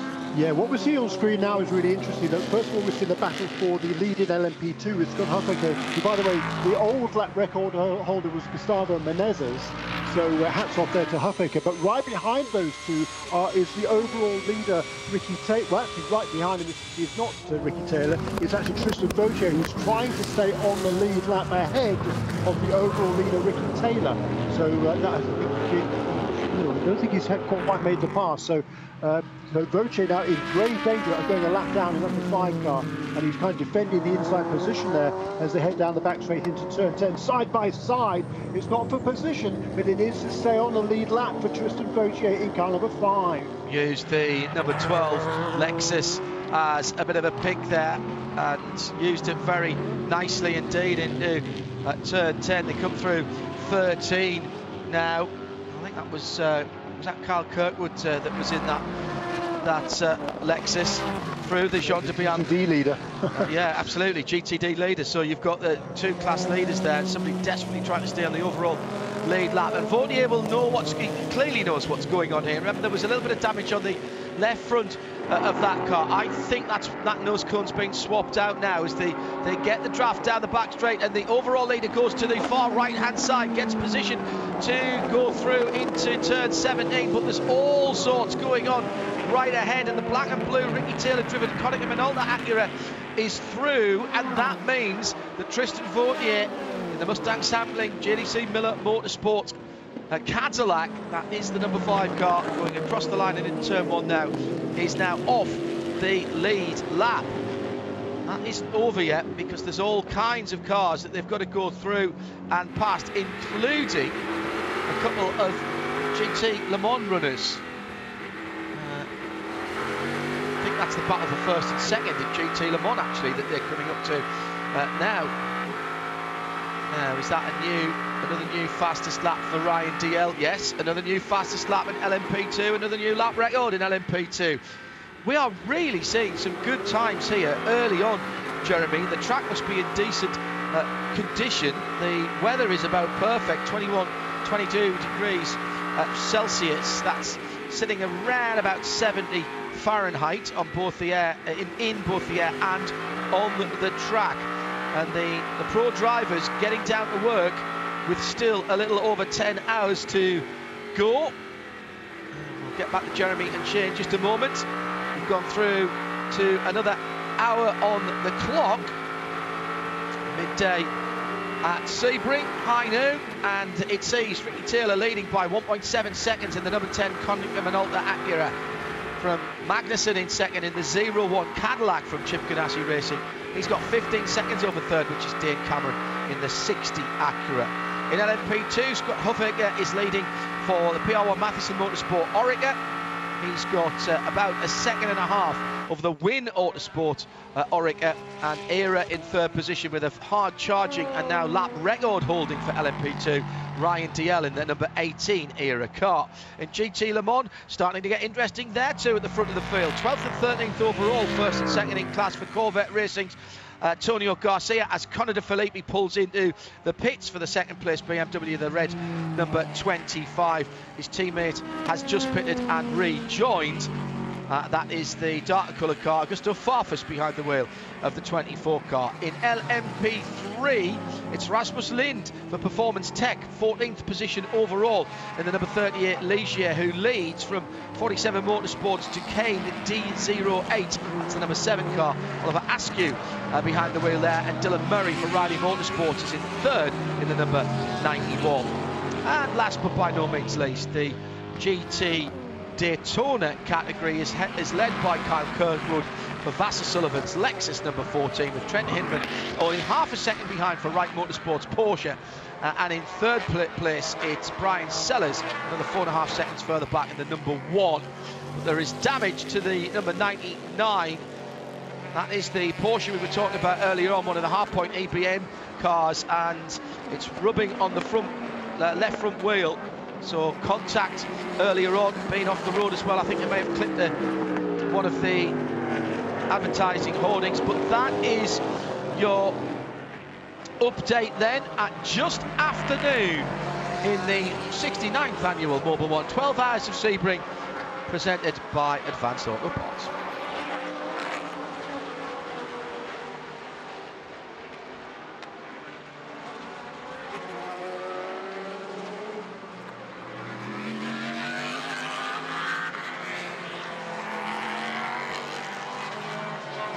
Team, Hardpoint EBM, Porsche number 99, comes into the pits after more contact. Shea Adam. That is EB getting aboard that car as well. Earl Bamber, a lot of damage to the nose. Uh, Rob Ferriol had a pretty decent size off at turn five managed to get the car pointing in the right direction and back out and running once again. But that car will be in the pit lane for a significant amount of time as they are going to work on it. They're getting the blocks to be able to put the car up on the air jacks and actually have mechanics underneath the car. That tells me that there is a lot more work to be done to that car than meets the eye, but they have to finish refueling before they can put the hood back down and then get to work properly. So Team Hardpoint right now are uh, dealing with that issue. Meanwhile, their sister car, Christina Nielsen, still out on track, still pounding around, and we are due GTD pit stops here shortly. That should mean that the 88th pit stop is going to be a lot more congested with the sister car in the box at the same time. And before we get to those GT Daytona pit stops, Jeremy Shaw uh, will be smiling very widely indeed. Kirkwood Hindman and Sellers, first, second, and third at the moment in GTD. And they all have one thing in common, Jeremy. Yeah, they do. They're all Team USA scholarship winners, which is kind of cool, isn't it? I must admit. And uh, there's a whole bunch of, of uh, Team USA scholarship winners in this race. Actually, I haven't counted out how many, but uh, another one is running in third position in uh, overall. That's Dane Cameron. And uh, yeah, cool to see uh, Kirkwood, Hindman, and Sellers. Yeah, they're all in kind of different stages of their careers, perhaps, but they're all youngsters. They all were youngsters who went to well, two of them most of them in England to race, it, to race in Formula Ford cars. Bryan Sellers actually went to New Zealand along with AJ Allmendinger back in 2001, I guess it was, and uh, uh, had a lot of uh, lot of fun down there. They ended up actually uh, being in contention for the New Zealand Formula Ford Championship, which is kind of cool. So yeah, it was a long time ago it seems now for Bryan Sellers. God, hard to believe it was 20 years ago. Good gracious, that's amazing, isn't it? Uh, he's going to love that you've just told everybody that.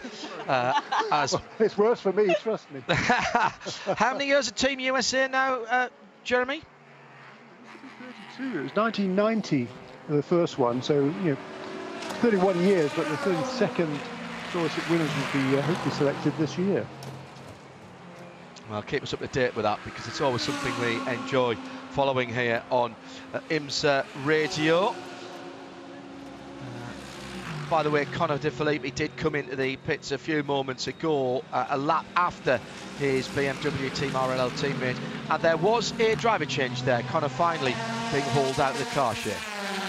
Connor, another one of Jeremy's Team USA boys, uh, who actually had dinner with you and Eve not too very long ago in the grand scheme of things. We've, met, uh, yes, met most of them down through the years, certainly in the last decade or so, I would say. Yeah, fuel and tires for the, the BMW Bruno Spengler put aboard that car. Rasmus Lindh is in the pit lane for performance tech out of the lead of LMP3 one more time. I would imagine that that will be a driver change as Rasmus has been in since the beginning. He's got two choices to uh, hand over to, either Mateo Llarena or Dane Goldburg making his debut not only in the IMSA WeatherTech Sports Car Championship, but at the Sebring 12 Hours as well. So that's an exciting option there for performance tech. Uh, and who else did I see came into the pit lane? Oh, nobody that time by, but we do have a lot of cars up and down the field, particularly in the GT area, where their first number is a five, and that typically means they owe me a visit. Thank you, Chef, for that update from our VP Racing Fuel Paddock report.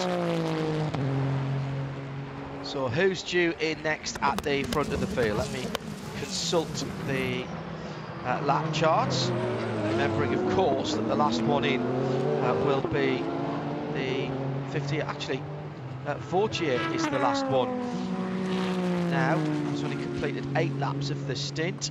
Uh, Ricky Taylor in in the next couple, Dane Cameron in in the next couple, Kevin Magnussen in in the next couple. So all of those top four will be in.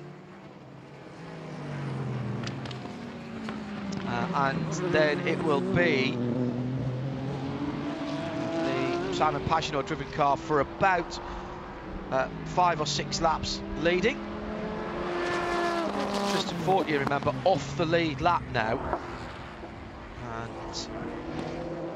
And the first car off the lead lap and one of only two DPIs of course the problem earlier on with the right hand side suspension for Pete Derani cost them four laps the number 31 Cadillac.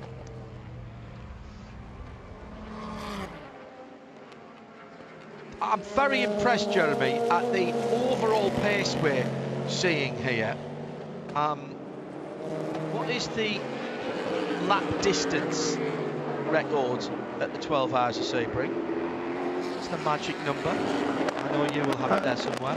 Yeah, 348 laps, in fact, which is which curiously has been achieved on three occasions in DPI. In 2017, it was equalled in 2019 and last year as well. Remarkable. As it stands right now, we're well ahead of that, as you might uh, expect, given all of the green flag running that we've had, and we've only had indeed one uh, intervention by the very lovely Corvette from the safety car point of view. And as much as we love that C8R uh, leading the looking at it leading the field around. We really hope we don't see too much more uh, of it. So at the moment we're well ahead of that game. I'll keep an eye on that. I've written down 348 on my important piece of paper. Class leaders then, Konica Minolta, Acura number 10, LMP2, PR1 Mathiasen Motorsport, Antonio Garcia in the pitch here, leading GT Le Mans fuel, tires, and potentially a driver change, as I did see another helmeted driver up on the wall. There was no driver change for WeatherTech Racing when they brought the Porsche in. Jam Jam stays aboard, the number 79 in the red, white, and blue. And we have had a couple of GTD stops just now. We've got Corey Lewis aboard the number one Paul Miller Racing Lamborghini. Also into the pit lane, the 75 Sun Energy One Mercedes. Mikaël Grenier brought that car into the pit lane, waiting to see who takes it back out. Uh, Christina Nielsen is out of the number eight after doing her opening gambit. And Bia Figueiredo is into the Porsche. And happy belated birthday to Bia. She just celebrated the other day.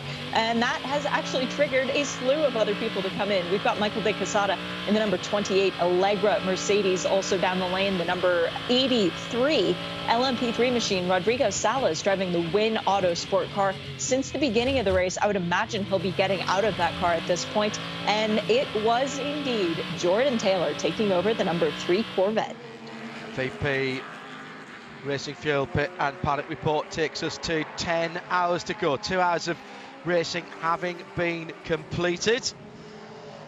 Uh, a number of additions I've noticed uh, down towards turn one. A couple of scissor lifts there. In fact, two or three of them, three or four of them, uh, which appear to have some spotters uh, on them there, rather than on the old uh, metal grandstand uh, bleacher, really, that used to be on the entrance, Jeremy, to, to turn 17 on drivers right. But uh, there's clearly some spotting going on from up there. across the line. The Lexus that is leading GT Daytona into turn number one. And just uh, putting a lap on one of its competitors there. Trent Hindman only half a second behind the NSX that it's just gone by. And uh, that is the Magnus with Archangel John Potter, number 44 car uh, just lost a lap to its class leader. Speed Racer livery from Daytona, partially carrying over. Notice on the side uh, of that car. Uh, Nicky, uh, Nicky, Ricky Taylor is in the pit lane, and that is spot on time. That is at the end of his 20th lap, and Shea Adam is watching the pit stop for the Konica Minolta Cadillac. Fuel tires and out, out, out, Ricky. It's Filipe Albuquerque's time to play in the Acura around Sebring International Raceway. So they are doing the driver change very calm no urgency whatsoever. Filipe actually walked around the side of the car as if he was going for a walk with his wife and kids. Uh, that was very calm, cool, and collected. Fueling is the last thing they're waiting on. The tire change is done. The door closes for the driver change.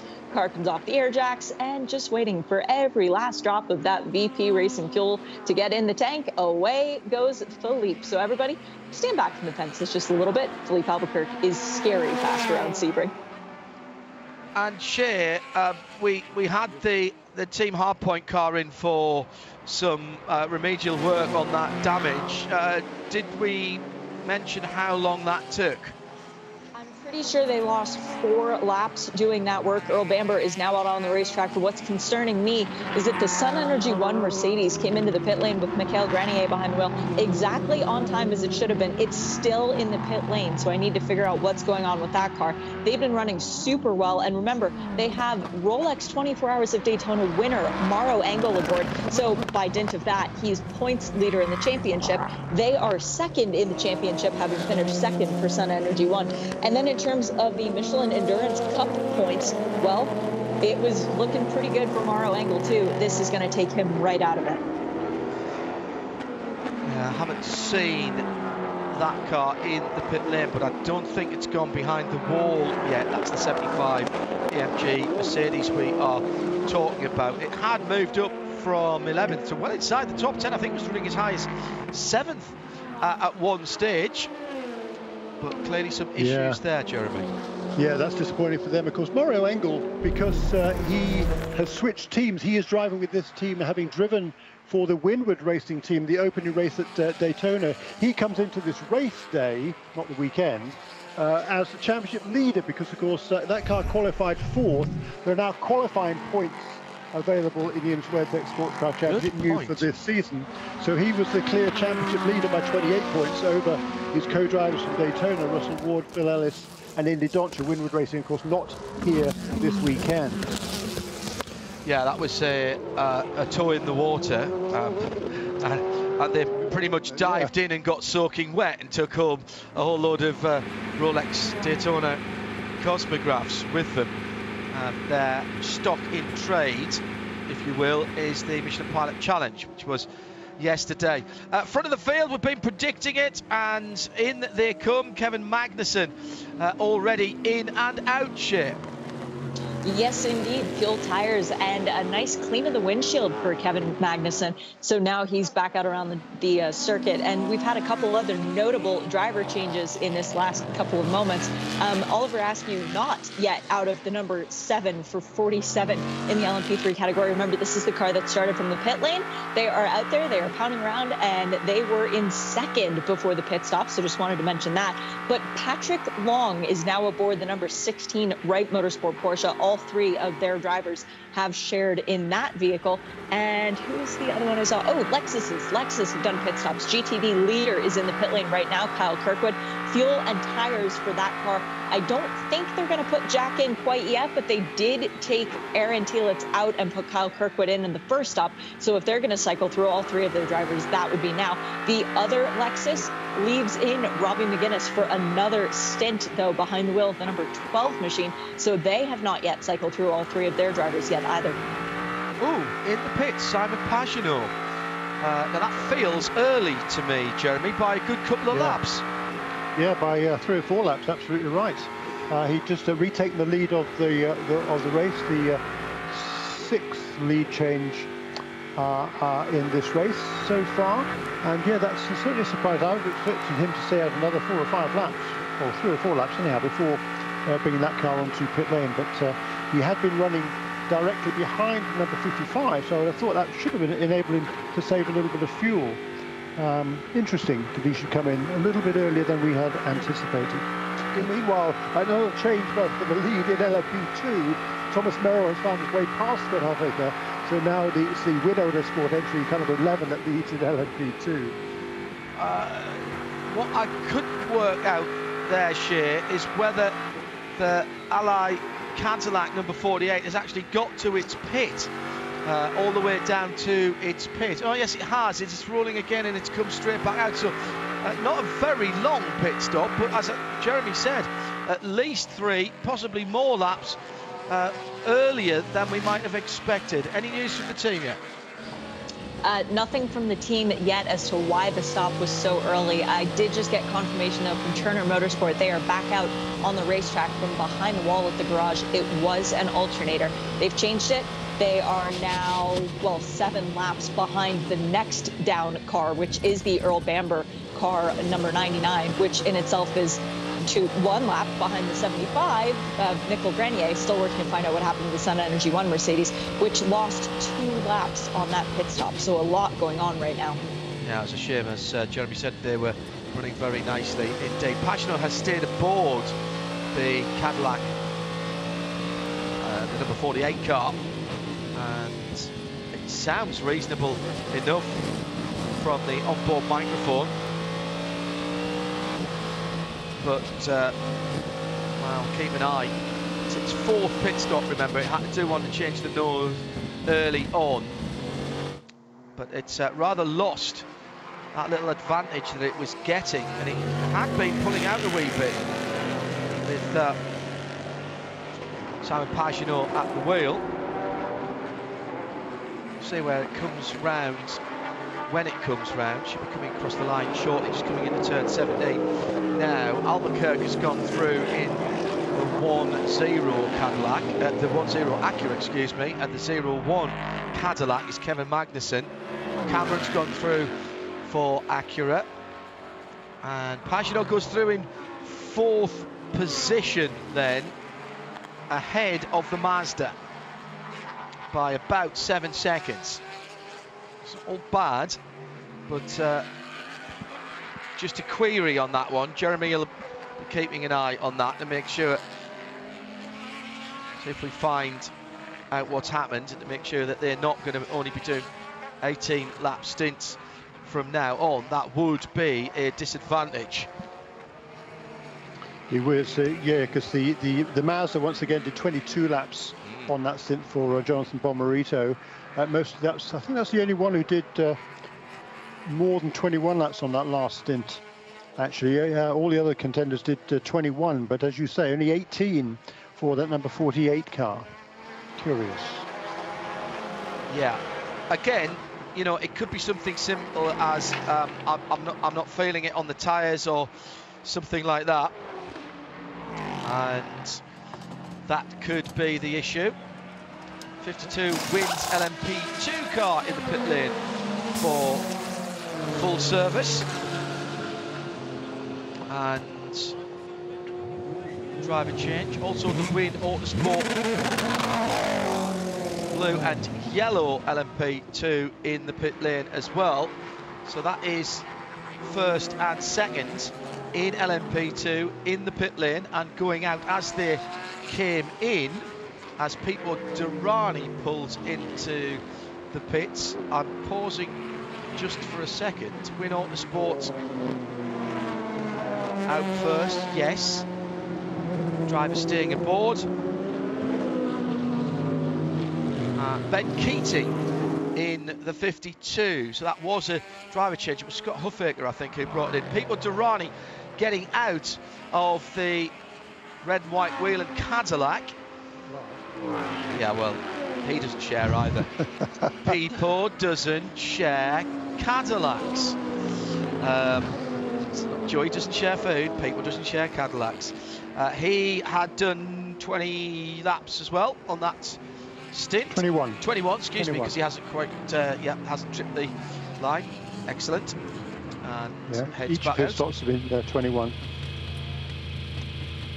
Which which makes that 48 Ally Cadillac even uh, even more odd because the other Cadillacs haven't had any issues in that respect, Jeremy. So we we will have to try a, a try and find out or b keep an eye both of those uh, actually as to what's going on. It's still jo it's, it's still Corvette number three now. Jordan Taylor leading in GT Le Mans. Dan Goldburg for Performance Tech uh, leads LMP3 on the pit stop cycle, and Kyle Kirkwood is behind the wheel of the number 14. Uh, Vasser Sullivan. Uh, that is the Lexus number 14, isn't it, that leads GT Daytona, and Filipe Albuquerque now behind the wheel of the overall leader and leader in DPI by about 16 and a half seconds here. Uh, Albuquerque doing a cracking job. Kevin Magnussen racing as uh, one of two, Jeremy, um, one of a couple actually, of, of very experienced rookies uh, in IMSA and at Sebring, therefore, uh, this year. Kevin coming in from Formula One, really announced himself uh, pretty impressively at the Rolex 24 Daytona and he's taking to this sports car racing thing rather well. Yeah, absolutely loving it. Yeah, he's uh, he was very grateful for the time he spent in Formula One uh, this is a completely different, of course, and uh, enjoyable in a different way, but he certainly loves the atmosphere that there is in the IMSA Sports Car Championship. You know, there's a lot more camaraderie uh, than there is in Formula One. Well, there isn't any camaraderie in Formula One, basically, so even amongst your, your own team.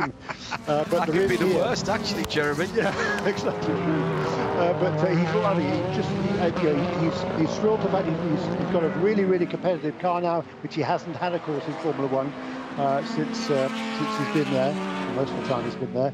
Um, and so, you know, he's, he's now, he knows he can challenge for wins. It's a completely new discipline for him to learn, but of course, he has a big advantage there in that his dad is a guy called, called Jan Magnussen, who had a huge amount of success in this series.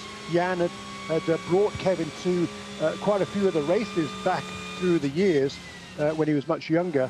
So Kevin, you know, he knows how it works over here. He's been to most of the tracks, even, though, even if he hasn't been on them in a racing car. Uh, and uh, he's using that, that experience and all of his dad's prior experience to get himself right up to, to, uh, to speed with, uh, you know, with a minimum of, uh, of delay. It was Felipe Nasr who took over from Pipo Derani, or Peter Derani, as I called him earlier on. So we've got two new drivers here, uh, even from what we were expecting, because we've uh, got Nicky Taylor and Peter Derani. I've already uh, coined those this week. This has been noticed on the Radio Show Limited Listeners Collective. Hello to everybody over there on Facebook. If you want to get us here in the Hagerty Global Broadcast Centre at IMSA Radio, hashtag RSL Sebring. And a reminder at uh, 1 o'clock on Tuesday Eastern Time, it's 5 o'clock in the UK, another hour of Haggerty, Hagerty Inside Track and the responsible adult working hard to get some more quality guests for another hour of chat from the headline makers from this race at Sebring. The Hagerty community pages, we'll make sure that we post all the links, ask your questions and get involved there from 1 o'clock on Tuesday afternoon Eastern Time. That's Hagerty Inside Track. Looking forward to that again. So Jordan Taylor now having pulled out nine seconds uh, on the chasing BMW of Bruno Spengler. The red car back into second place now. That was just a second and a half not so very long ago. Remember, the 24 car had to do a drive-through for incident responsibility. By the way, if you're just talking about Kevin Magnussen there, if you're uh, in Denmark, you might not know this if you're listening on uh, RS1, but the race is being covered in Danish by your same broadcaster who looks after your F1, and it's Jens Henson along with John Nielsen and Michael Christensen, I think, is uh, helping out as well this weekend. Uh, I know Jens won't be listening because he's too busy talking uh, and describing the race. Uh, best of luck to them for their show. Not often I say go and tune away, but if uh, that is your language, those guys doing a cracking job for the Danish broadcaster. Trying to get a few more races for Jens and John to look after as well through the season and where they don't clash with Formula One it's possible that that might happen. Give you more news of that for those of you in that part of Scandinavia. And with the movement of Le Mans, of course, to uh, August, it does mean that there's no clash now with uh, the Le Mans and the um, Canadian Grand Prix. Uh, presuming that goes ahead, but uh, at the moment Le Mans on a free weekend for endurance fans in Denmark, of which I know there are many. The K-Riser campsite is not too far away from uh, our broadcast position.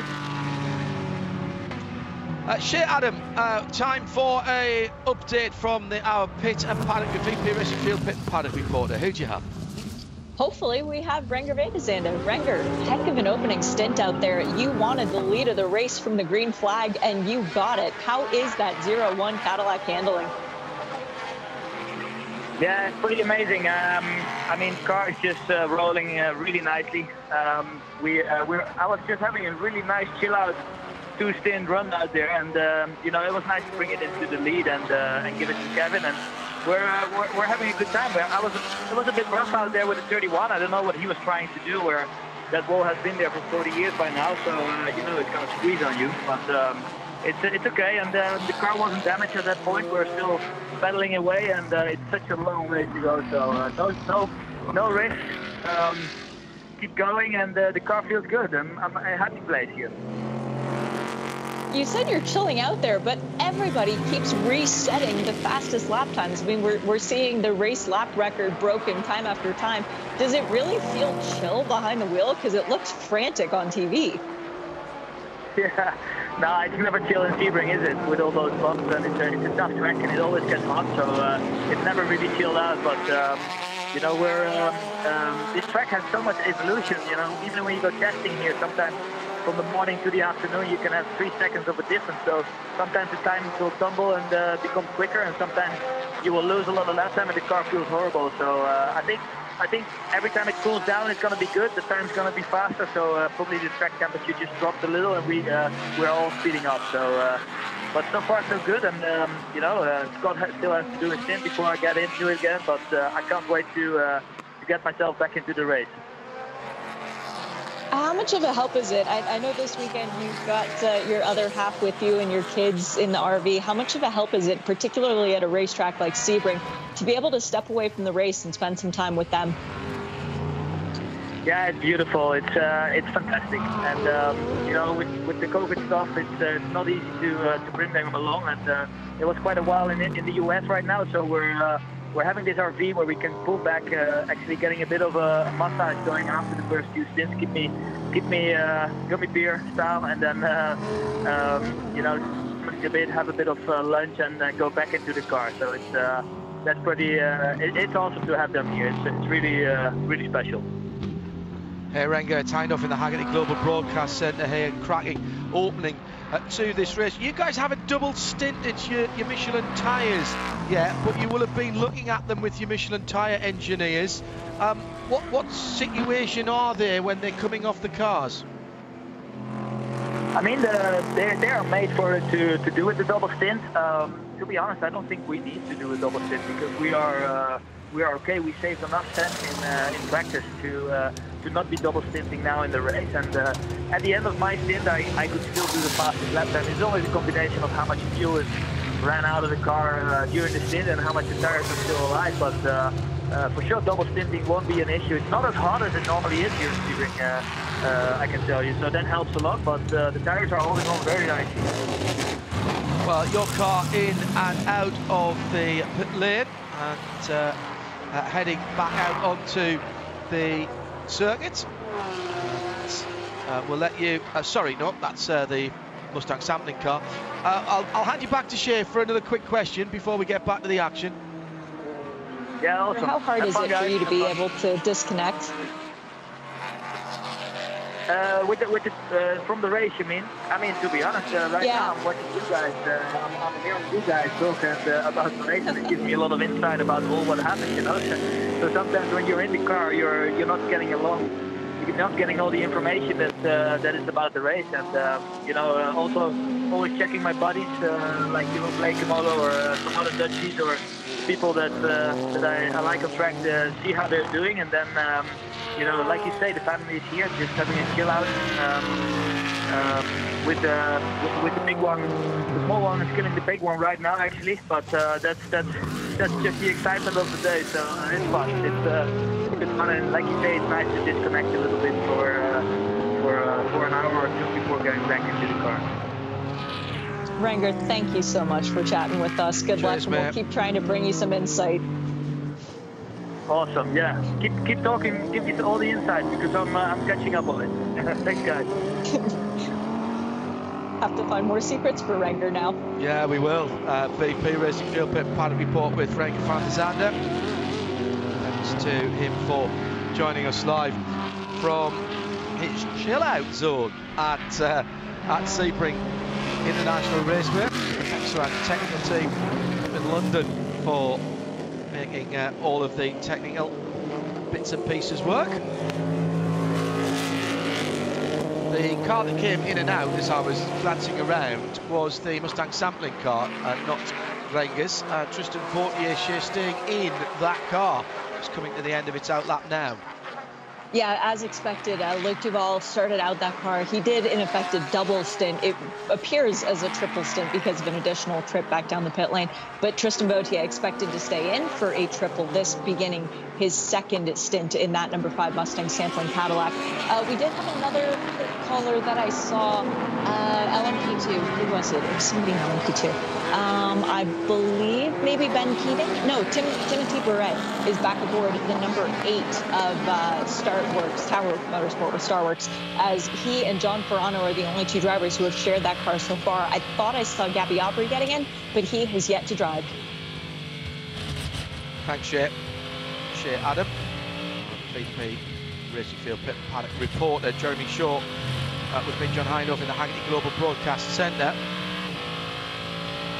Albuquerque just gently being pulled back by Kevin Magnussen here. A couple of tenths that lap, a couple of tenths the, the lap before Jeremy, coming down to under 11 seconds now, that gap at the front of the field. Then eight, nearly nine seconds back to Dane Cameron in third for the MSR Acura. And about the same back again to the Ally, uh, uh, Ally Cadillac of uh, still Simon Pagenaud. So the top four within 30 seconds here. So still very, very much all to play for in these opening hours. Yeah, that's right, John. And uh, really, there's been very little change uh, in the relative uh, gaps between the top uh, five cars that remain on the lead lap. With that pit stop, number five car falls back off the lead lap again. So uh, Tristan Vautier is uh, certainly got some work to do there with that with that uh, team. He, he lost that lap during the previous stint. He gained it back briefly when the other guys pitted before he had to make his own pit stop. Again, uh, that number five car turning uh, 21 lap stints as pretty much all the Cadillacs seem to be doing. So number 55 Mazda was able to run a little bit longer, and that's now in fifth position and uh, 45, almost 45 seconds behind the lead. But uh, as we talked about all the way along, just keeping that car in contention is all you need to do at this stage in the race. In LMP2, Thomas Merrill leads now for the uh, number 11 car, Willow Willow Sport. Uh, the number 52 car, about half a dozen laps ago, did make, well, they both made a pit stop. Merrill stayed aboard number 11, and number 52, Scott Huffaker, had back to Ben Keating.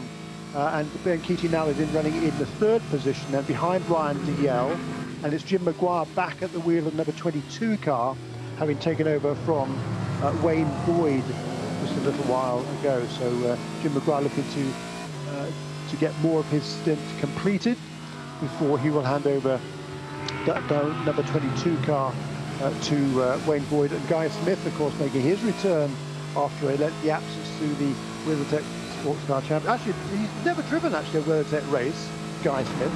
Uh, so in the, the sort of modern era of IMSA, he's making his debut. Yeah, you're right, actually. That's a good point. we, we, think of him down through the years in a number of machines, obviously, uh, most famously with, with Dyson in, in, prototypes, but but not in the, the new era of IMSA. Very good point, Jeremy. Does that, does that count him as a rookie again then? He's a he's a WeatherTech sports car rookie. No, say shit. Yeah, does he have to carry stripes on the car? yeah, he's got to carry an extra set of mats in the car as a rookie. Uh, that's what happens. Um, says nobody ever. Uh, Still, the, the cup phone holder thing, the phone holder that goes into your, your cup holder from WeatherTech is still the cleverest, simplest and cleverest thing I have ever seen for a car. That is that is absolutely orange truck. Brilliant. It's called Cup Phone. F-O-N-E. It's brilliant. You'll find that on the WeatherTech site. I, I don't have one because we can't get them in the UK, Jeremy. And of course, um, it's rather difficult for me to uh, to get to the States and bring anything back to you. get one of those, you're right. It's a brilliant, simple idea. It really is. Well, yeah, there, there was uh, the, the, gap guard uh, was another good uh, good invention. It was uh, invented by another another uh, racer escapes me. We'll come back to that, I'm sure. But that was a, that was a sort of a, a bit of uh, of uh, polystyrene or foam that sits fits between the center console and the seat side. Because how many times have you lost something down between the seat and, and the center console, uh, the, the, the uh, central tunnel of the car, of the uh, car, the prop shaft car, if it, was a rear-wheel drive car, uh, or if it isn't, it, it, goes much further down as well, doesn't it? It's really difficult to find a darn thing. So, yeah, and it's normally it's normally something that you need at that exact moment. So you try and pull your wallet out of your pocket and it falls down there because you need your credit card to pay a toll or, or fill the car up with petrol, or you drop your phone down there when it's ringing and it you hadn't Bluetoothed it, or you have, you've got an old car like me that doesn't have uh, Bluetooth, and you've pulled up to take the phone call, and the first thing you do is drop it down the side of the seat. Can't get, get your hands around it. Yeah, I like that. Very good. Cup Fone is what I'm talking about. Go check it out the WeatherTech, uh, WeatherTech site. It is the WeatherTech Sports Car Championship, second round of the 2021 Championship. so far so good for our calendar with the Rolex 24 Daytona running uh, when it was meant to. This is the Mobil 1 12 Hours of Sebring presented by Advance Auto Parts on its correct weekend. Also the second round of the Michelin Endurance Cup still, what, about 90 minutes before we start handing out points for that. Shea will keep us in the loop. Just keep, keep an eye open for people going slightly different on their strategy, those who are concentrating uh, on that. It's one of our Porsche keys to the race. Great battle in LMP2. Really enjoying watching that at the moment. And got to say, Jeremy, tip of the hat to IMSA. Asked their competitors what they could do uh, in times that were significantly better than we've had in the last 14 months. What they could do to increase LMP2, what would bring more people in, the teams fed the information back. IMSA did it, and even given the ridiculous situation that we find ourselves in globally now with travel, etc., uh, and how difficult that is, uh, we have got uh, five cracking entries here, and we saw at Daytona as well, a pretty decent battle in LMP2, and long may that continue here in IMSA. I like seeing the LMP2 cars here. Yeah, they, I do too. They they are great, and it's, it's certainly good to see them uh, having a good little battle there at the front, and you know, long, long way to go. And it's you know, the, the, the, the gaps between the cars are going to change a lot more in that category than they do, for example, in DPI, because it is a pro-am class, so you have to have uh, bronze and silver rated drivers at the wheel of those cars and uh, by definition they're not as quick as the uh, as, as, the golds or the platinums because uh, they, they are the more experienced drivers. We've got a new fastest lap ergo a new lap record by the way last time round for Kevin Magnussen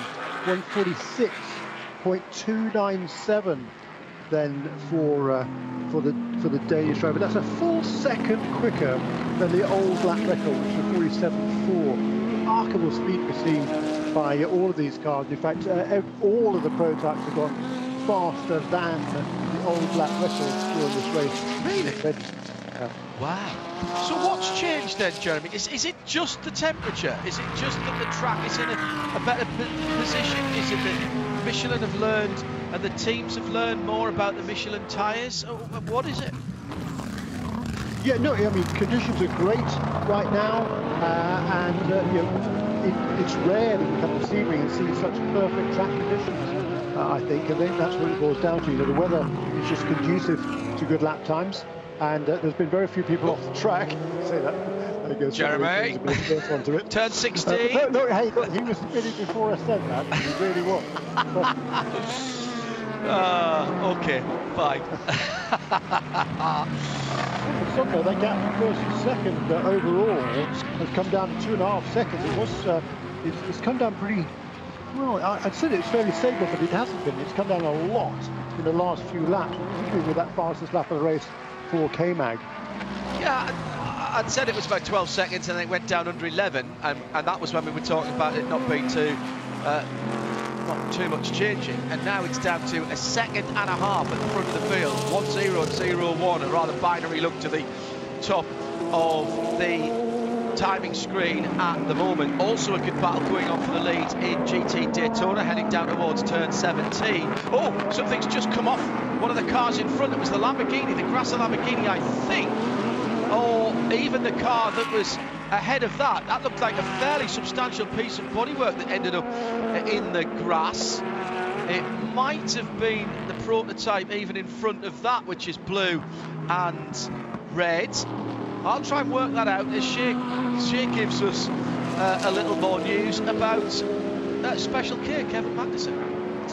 Well, I'm indebted to Ryan Smith, once again, the Corvette racing guru of uh, all things PR. He sent me a text and said, Imagine that, a Magnussen going fast around Sebring. It's true, Kevin has it in his blood. Whether or not he's been here before, he just innately knows how to go well. Update from Sun Energy One as well, I can give you. And uh, thank you to the team for getting in touch. Uh, intermittent ABS and traction control on the AMG GT3. That is the number 75 Sun Energy 1 car. The Gradient team working on that, but intermittent is the horrible word there, Jeremy. And these GT3 cars are getting very, very complicated now. And even those ABS and TC systems are far more sophisticated than even three or four years ago. They are uh, really full race systems now uh, in these cars. And of course, the drivers, the, the, the cars are built with those in mind. And, the drivers need those cars to, to keep turning consistent lap times. And it's all very well, you know, if it's there or if it's not. But if it's sometimes there and sometimes not, that's probably the worst of all situations. Yeah, really irritating. Uh, electrics, you know, the, the bane of everybody. We can't blame Lucas anymore either because the, the systems a lot more sophisticated now. Just look, we've got a battle for the lead all of a sudden. A couple of laps to go, by the way, the last lap around. The lap lap time for the leader was at 153.0 uh, and a couple of laps before that Magnussen turned at 146.2 so seven seconds difference that explains why all of a sudden Kevin Magnussen is right on the tail of Filipe Albuquerque in that leading car number 10 for Konica Minolta Acura team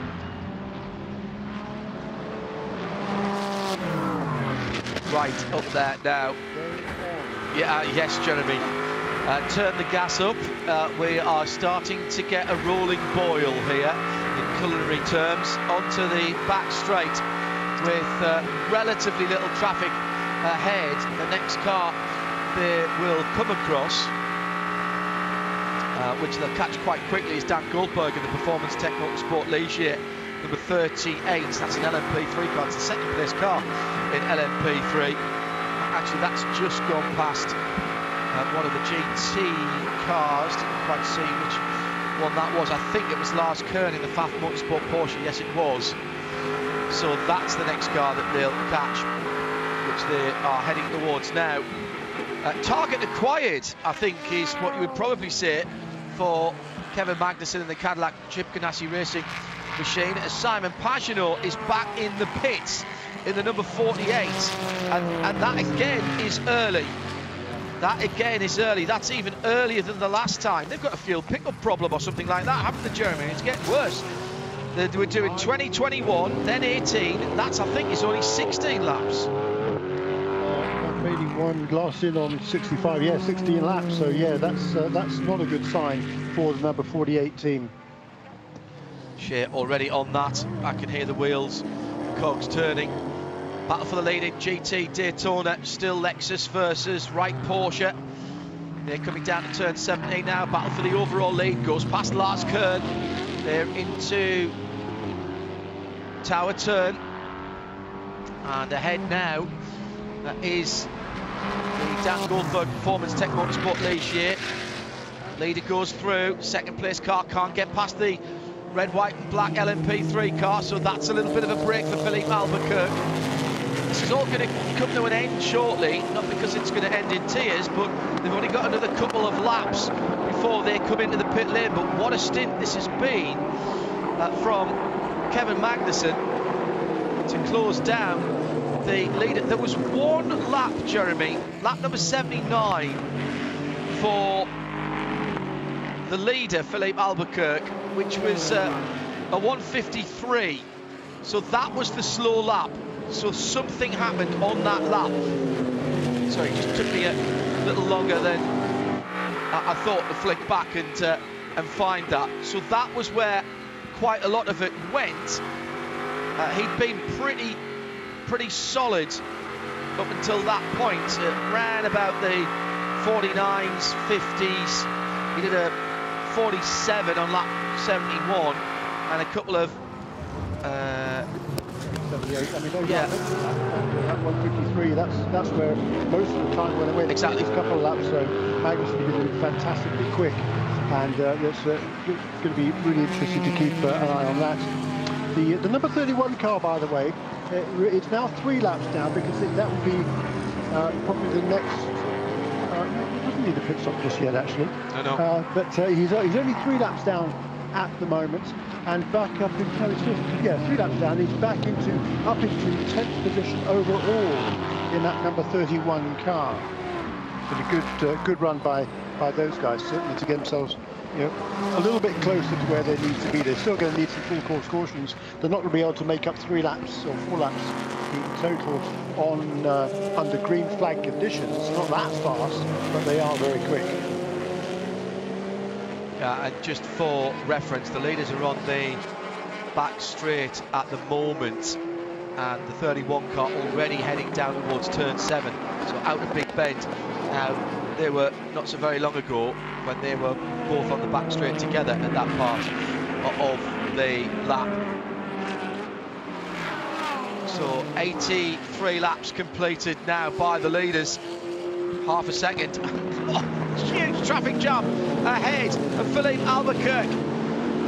Past the Paul Miller Racing Lamborghini, the number 25 BMW in there as well, and now going past a P2 and a P3 car, the two wins cars, uh, liveried cars together, one in P2, one in P3. So I think we had all classes in the race there, coming out of turn one together, at least one example of each of the three class, uh, of each of the one, two, three, four, five classes in the race.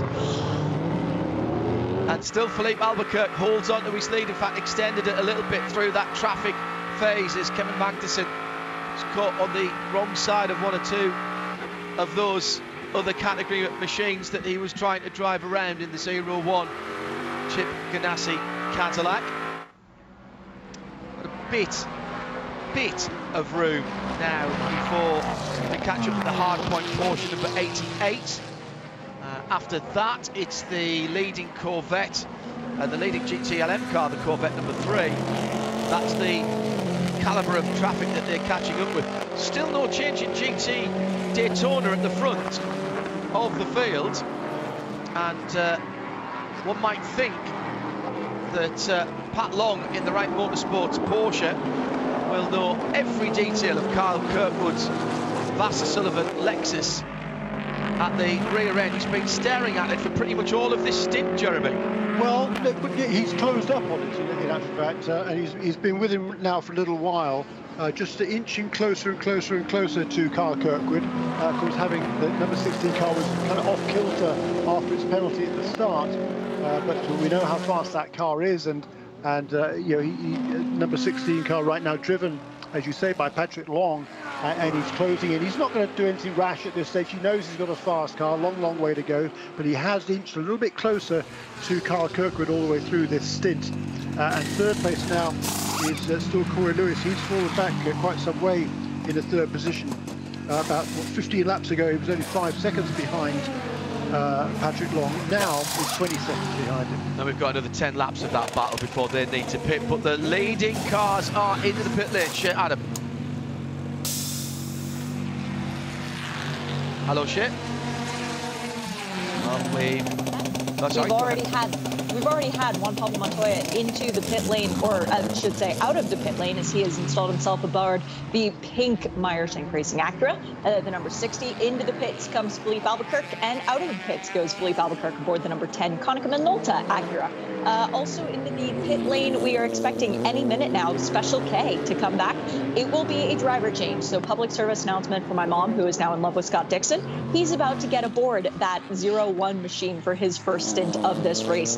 Also into the pits of note in LMP2, Ryan Dalziel starting a triple stint aboard the number 18 Era Motorsports LMP2 machine.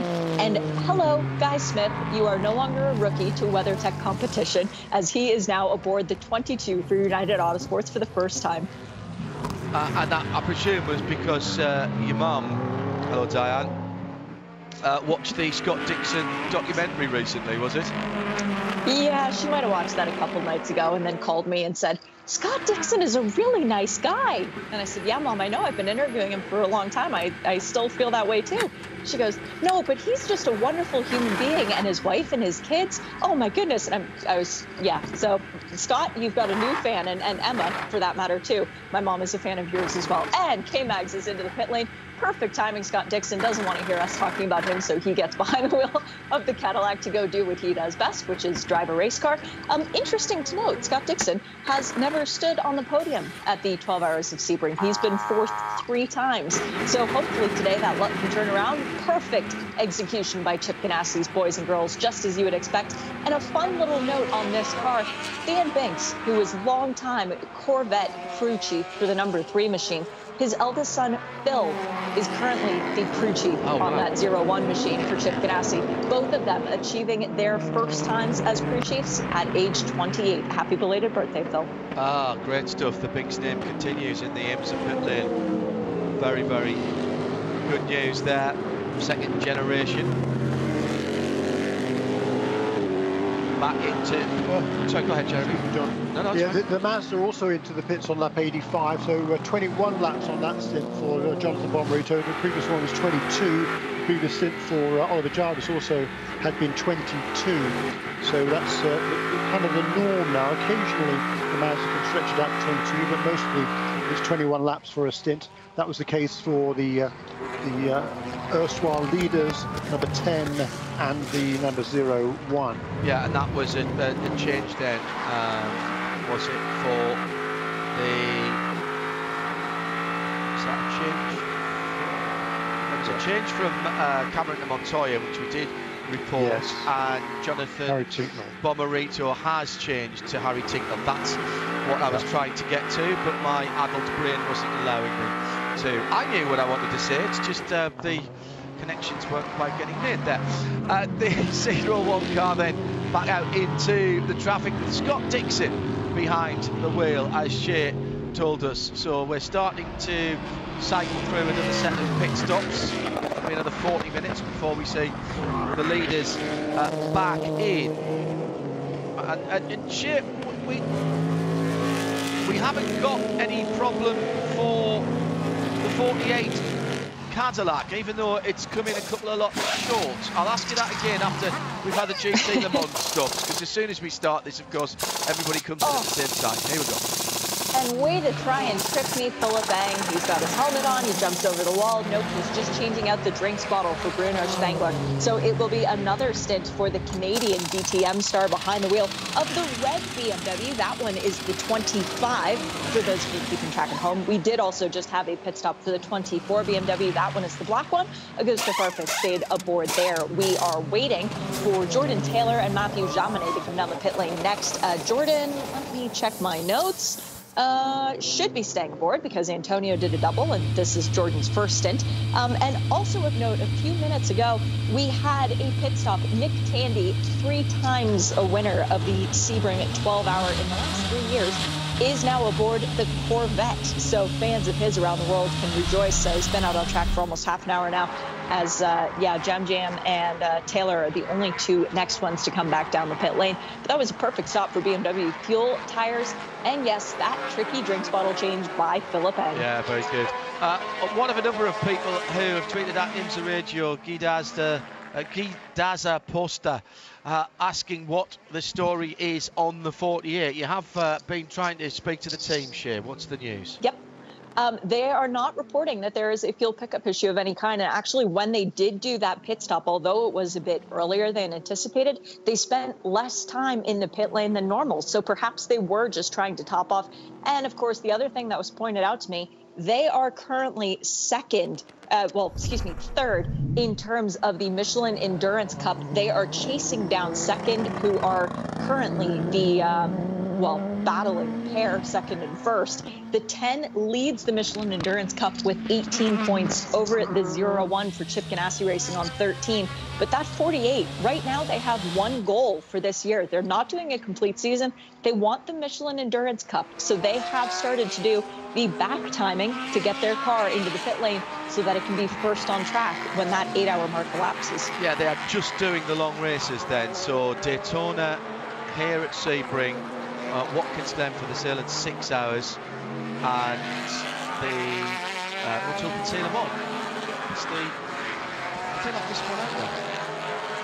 Uh, Watkins, Petit, Sebring, Daytona. Yeah, okay, four, yes. So that is the Michelin Endurance Cup. First, first of the tranche of points being handed uh, out to those in uh, about an hour's uh, an hour and a quarter's time. We're coming up to another clock hour, so I'll do a quick rundown uh, and uh, remind you uh, that you're listening to IMSA Radio with live coverage of the Mobil 1 12 Hours of Sebring presented by Advance Auto Parts. We're starting, we'll start in GT Daytona where the lead has just changed. Uh, as I was about to do the rundown, Wright Motorsports and Pat Long uh, in a uh, with an overtaking uh, manoeuvre in a place that I'm not sure I've seen that many, if any, overtakes completed before. Uh, that was Pat Long going up the inside at turn 16 of Kyle Kirkwood. I'm not sure Kyle was expecting that. So a new leader, Porsche leads in GT Daytona. It's Pat Long, Pat Long from uh, Kyle Kirkwood, Wright Motorsports from Vasser Sullivan, Paul Miller Racing in third, about 20 seconds further back. Lars Kern with another Porsche, that's the Pfaff Motorsports Porsche number nine in fourth position, is another 20 seconds further back. Uh, then it's the second of the Lexus, Vasser Sullivan, Heart of Racing, Aston Martin. They're having a decent battle, but they're another 20 seconds or so further back, and that's your top six uh, in GT Daytona. In, G- in LMP3, Dylan Murry leads for Riley Motorsports. He's got about half a minute on Dan Goldberg in the Performance Tech Ligier, the number 38 car there, Austin McCusker in the 47 Motorsport Duqueine. That's the number seven car, another 20 seconds further back. In GT Le Mans, it's Corvette by 46 seconds from Mathieu Jaminet now in second position for WeatherTech Racing ahead of the two BMWs led by Spengler in the 25 and Farfus in the 24 in LMP2 long by the way is rather making his escape. Kyle Kirkwood after taking off the lead in GT Le Mans. LMP2 it's Win Autosport by uh, a minute and 13 seconds but we're in the pit stop cycle for those guys. But Ben Keating for Power and Mathiasen Motorsport in second. That's the 52 wing coloured car. Uh, and in third, it's Dwight Merriman for Era Motorsport in the number 80. Uh, that is your rundown as we've just gone past another hour. It's just after one o'clock at Sebring for the 69th annual Mobil 1 12 Hours of Sebring.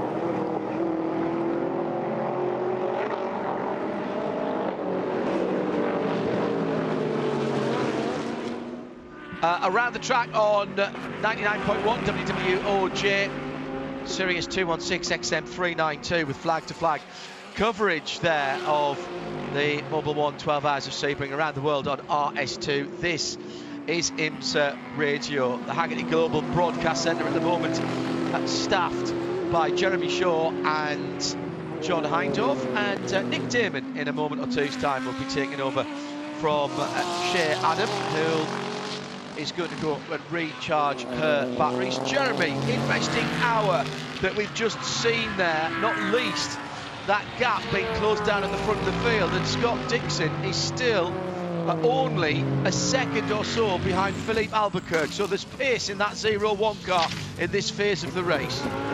Yeah, after that round of pit stops when the number 01 did change drivers and the number 10 did not, uh, on the first lap out, when they're back up to speed again, there was five seconds between them, but a couple of relatively slow laps there for Filipe Albuquerque. He's just been super cautious, I think, through the traffic. Two laps in the 50s, and that has enabled uh, Scott Dixon to close to within a second and a half of the lead of the race. Uh, Simon Pagenaud, he's charging along and closing up on both of them in third position, uh, having, uh, you know, he's, he's, he's that car is fast as well, number 48 car. I had problems early on, but it's quick. And uh, it's on a slightly different strategy to everybody else. And we're going to have to wait and see whether they have a whether we think they have a problem because they haven't done many laps in each of their last. It's, and it's coming stints. back together because of that, Jeremy, isn't it? That yep. that, that strategy difference that they had uh, is is not now uh, anywhere near as great. Uh, in fact, they've been out the longest now of the the leading cars, other than the Mustang. Laps, yeah uh, sampling car, which again is a little bit different. Yeah, yeah. So they're all sort of slightly different strategies there. 49s again there for our race leader. Uh, uh, Albuquerque, but he's all of a sudden that gap is down to nothing.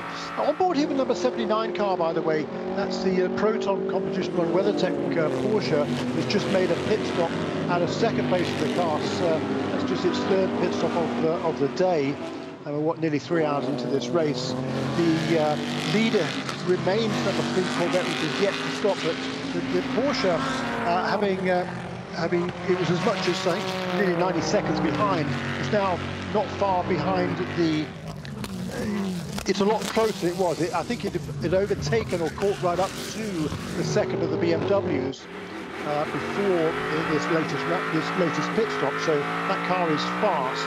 Uh, the other note I wanted to point out was number 31 car, the Action Express Whelen Engineering Cadillac that had a, the uh, incident early in the race at turn 17, had to come and make an, an unscheduled stop. Was four laps off the pace.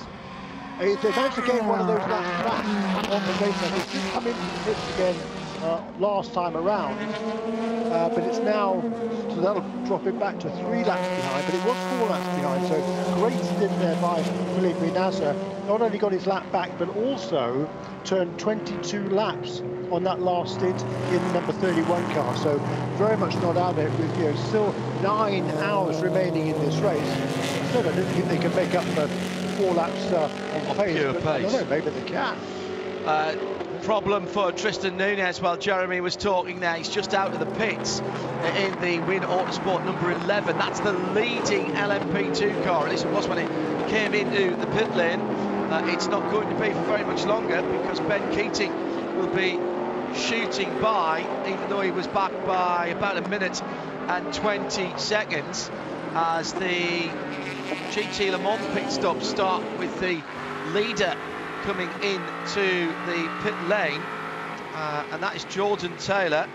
Uh, he's done 28 laps on that stint, so again, not quite as well as they did uh, earlier on. I think Tristan's going to make that back into the pit lane. While he does that, let's welcome into the broadcast here on IMSA Radio Nick Damon. Good afternoon to you, Nick. Uh, John, hello, Jeremy. Uh, almost hello, Shea, but she left. Uh, hello, everybody. Yes. She, well, she Lovely day it is in Sebring. She uh, she had to make way uh, for you. We'll get to Nick in a moment. He's keeping an eye on the pit and paddock report from VP Racing Fuel, and in comes the number 11 car of Tristan Nunez, and has dropped down to third position. Dwight Merriman and Ben Keating have both gone through uh, and taken away the lead. And that, as I say, was an outlap for Nunez. Now, has he not? Is it something as simple as not having his belts fastened? Because that was a very, very Yeah. quick fist fix there, Jeremy. Uh, no, he's having trouble restart or starting it. It was something down by his left-hand side. I thought it was just a maybe a loose belt or something, but there's a shake of the head. There is a control panel down there as well. Ah, steering wheels come off now. So very complicated these cars nowadays, and so much going on that is controlled from the steering wheel. It's like a fuse panel is being accessed by the mechanic through the left-hand side door.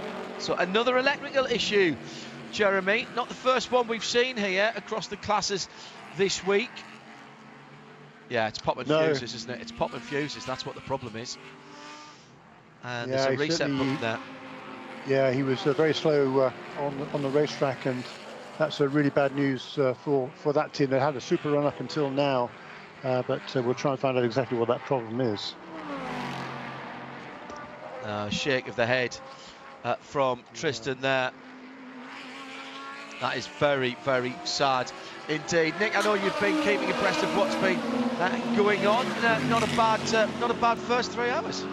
Yeah, action packed. Yeah, I mean, I, I did feel for uh, Pipo Derani when he got squeezed against the wall because that's um, that's happened to me virtually a couple of occasions. So uh, knowing it happens for real is obviously far more expensive and far more serious. Um, yeah, it looks like Nunez has got. I must admit, I saw him crawling around. I thought it was one of two things. It's either st- it's either stuck in gear or they, they filled it with air rather than fuel. But obviously they actually did manage to get the fuel. They did they did top it up for the lap it had done. And it's got that you know, worst thing possible. It's got an electrical gremlin. You know, uh, it, they, as you said, they're, they're pressing the, the, reset boxes. They're trying to get the uh, control alt delete to work, but you know, just waiting for it to fire up. And then I assume what happened was he, he wasn't getting gears, which is why he rolled down in probably a second. Oh, round, round. Ah, the other thing it could be is that the um, speed limiter wasn't coming off.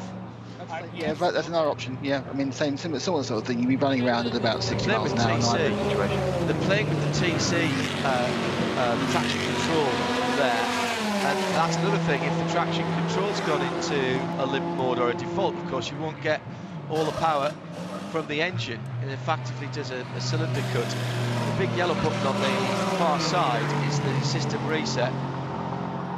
It's not a massive surprise, of course, getting electrical issues at Sebring because the cars are shaking themselves apart on the bump. So if you've got um, a slightly dry joint somewhere in your soldering or anything that's slightly loose, Ah. this is the track where it's going to come away, isn't it? There speaks a man who builds uh, radio-controlled cars. The stat that we had earlier on from the Michelin engineers, with it, if you added up all the suspension travel in one lap, um, it was 18 feet. Uh, Core Autosport have brought out the full course yellow. Uh, that is just after Big Bend. The number 54 CrowdStrike sponsored machine is moving again for Core Autosport in the. Oh yeah, that's a reset. Heard the engine refire. So the yellow has come out with just over one minute to go before the nine-hour mark. Next, Jeremy Shaw John Hindhaugh with Nick Damon in this part of the race. But we are going to just Jeremy our second full course caution, yes? Yeah, indeed, and uh, it had been uh, 22 minutes, or so two and a half hours we've been uh, under green flag conditions there, and uh, as, as soon as the uh, yellow comes out, the number 54 car gets going again. Um, did, did you mention, yeah, the, the problem with that, that's pit lane speed limits are really unfortunate for that Uh, number is, 11 is car. that for sure? You've heard that from the Yes. team? Right, Yes, thanks, uh, Jeremy. They're trying to cycle it, they changed the steering wheel, tr- still trying to figure out what that problem is. Uh, so Yeah, that was- to that Dana was- Watt for passing that information. That was uh, that was one of the options there, with all the buttons that were being pressed to try and get the reset done.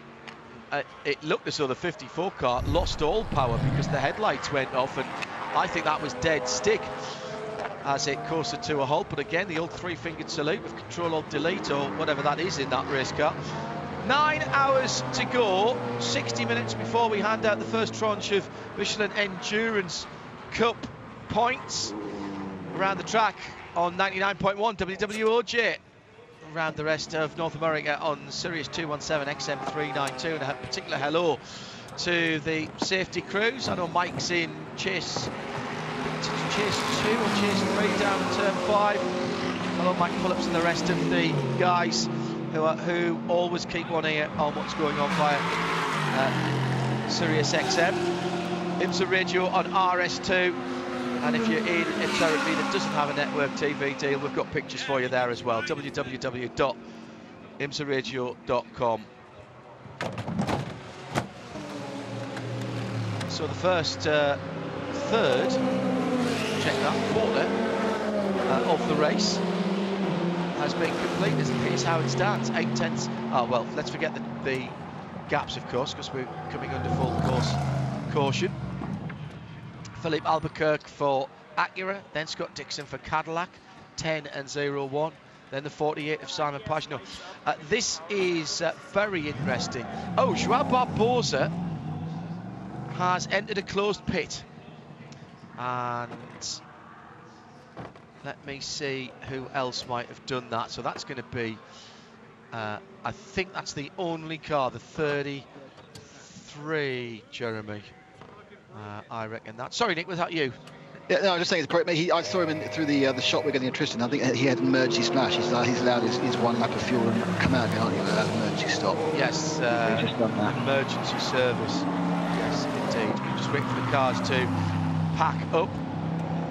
So was Barbosa really tight on fuel? Um, or did he have another issue in that uh, prototype for Sean Creech? Yeah, he'd done 30 laps, so he was due in. Looks like the number 99 Porsche from EBM had to do the same thing, so that was bad. Yeah, he'd done 29, 30 laps as well, so very unlucky for those guys. Uh, emergency service, I should explain that um, the pits are closed. So it is an offence to come in and take service. But of course, it would be madness if you had a damaged car or were about to run out of fuel by driving around behind the safety car and therefore add to the issues on the racetrack and potentially stop the race from going back to green when it could do. So in IMSA, there is what's called an emergency service procedure. You're allowed to come in and take five seconds of fuel or say you had a punctured tyre or a damaged rim or a bit of damaged bodywork you're allowed to attend to that and send the car back out again but you do have to come back in to the pit lane and uh, take full service again after the end of the safety car period so you still do I'm, I'm afraid get a little bit of a uh, a penalty for that but at least you don't get stranded out on the track. So now, who does this benefit? I don't think that's really. I tell you who it benefits is, is the number 31 car. Oh, very much so. Uh, yes. We, we are we're about halfway through a stint here, so I would certainly expect the leaders to come on in right now. The number 31 car was in only what was it before five laps yeah, ago. Yeah, so yeah, that will get that will now, I believe, be uh, instead of three laps down, be down. It'll be uh, just uh, two laps off the ultimate pace, um, which is uh, extremely good news for the number 30, 31 car. Remember, it was four laps down, gained one lap back during the last hour or so, uh, and uh, actually during uh, because its pace. I don't think it actually passed the leader, but it, was, but it, it kind of closed up enough and it was able to, to go through once the pit stops uh, took place. But uh, really good stint, brilliant stint from uh, Felipe Nasr. Uh, not only was showing great pace, but also good fuel economy as well, doing a 22 lap stint in that number 31 car. So that's a big bene uh, benefactor here. Uh, who it doesn't really help is number five car. That has gone back uh, down one lap because it was into the pits the lap before the caution came out.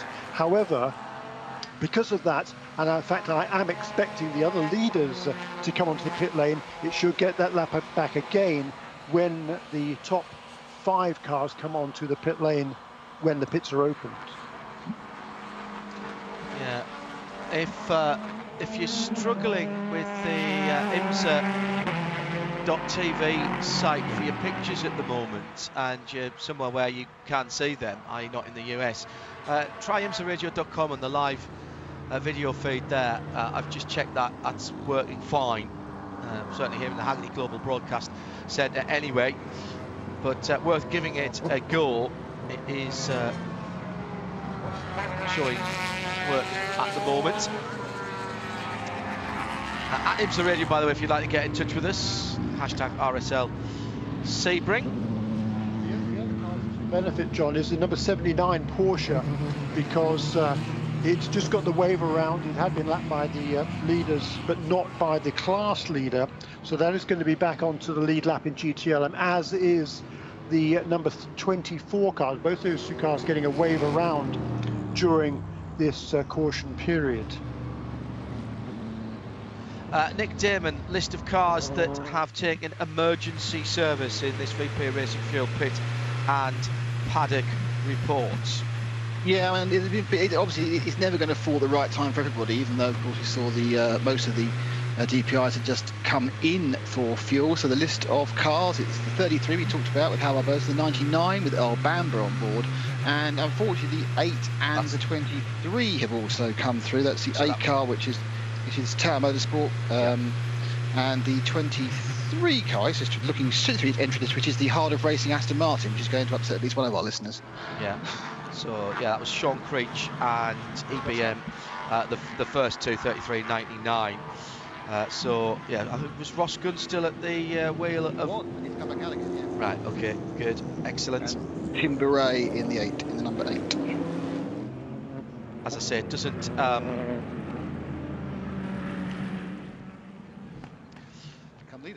Uh, here come the leaders in the pit lane. Uh, Nick Damon, describe the action for us.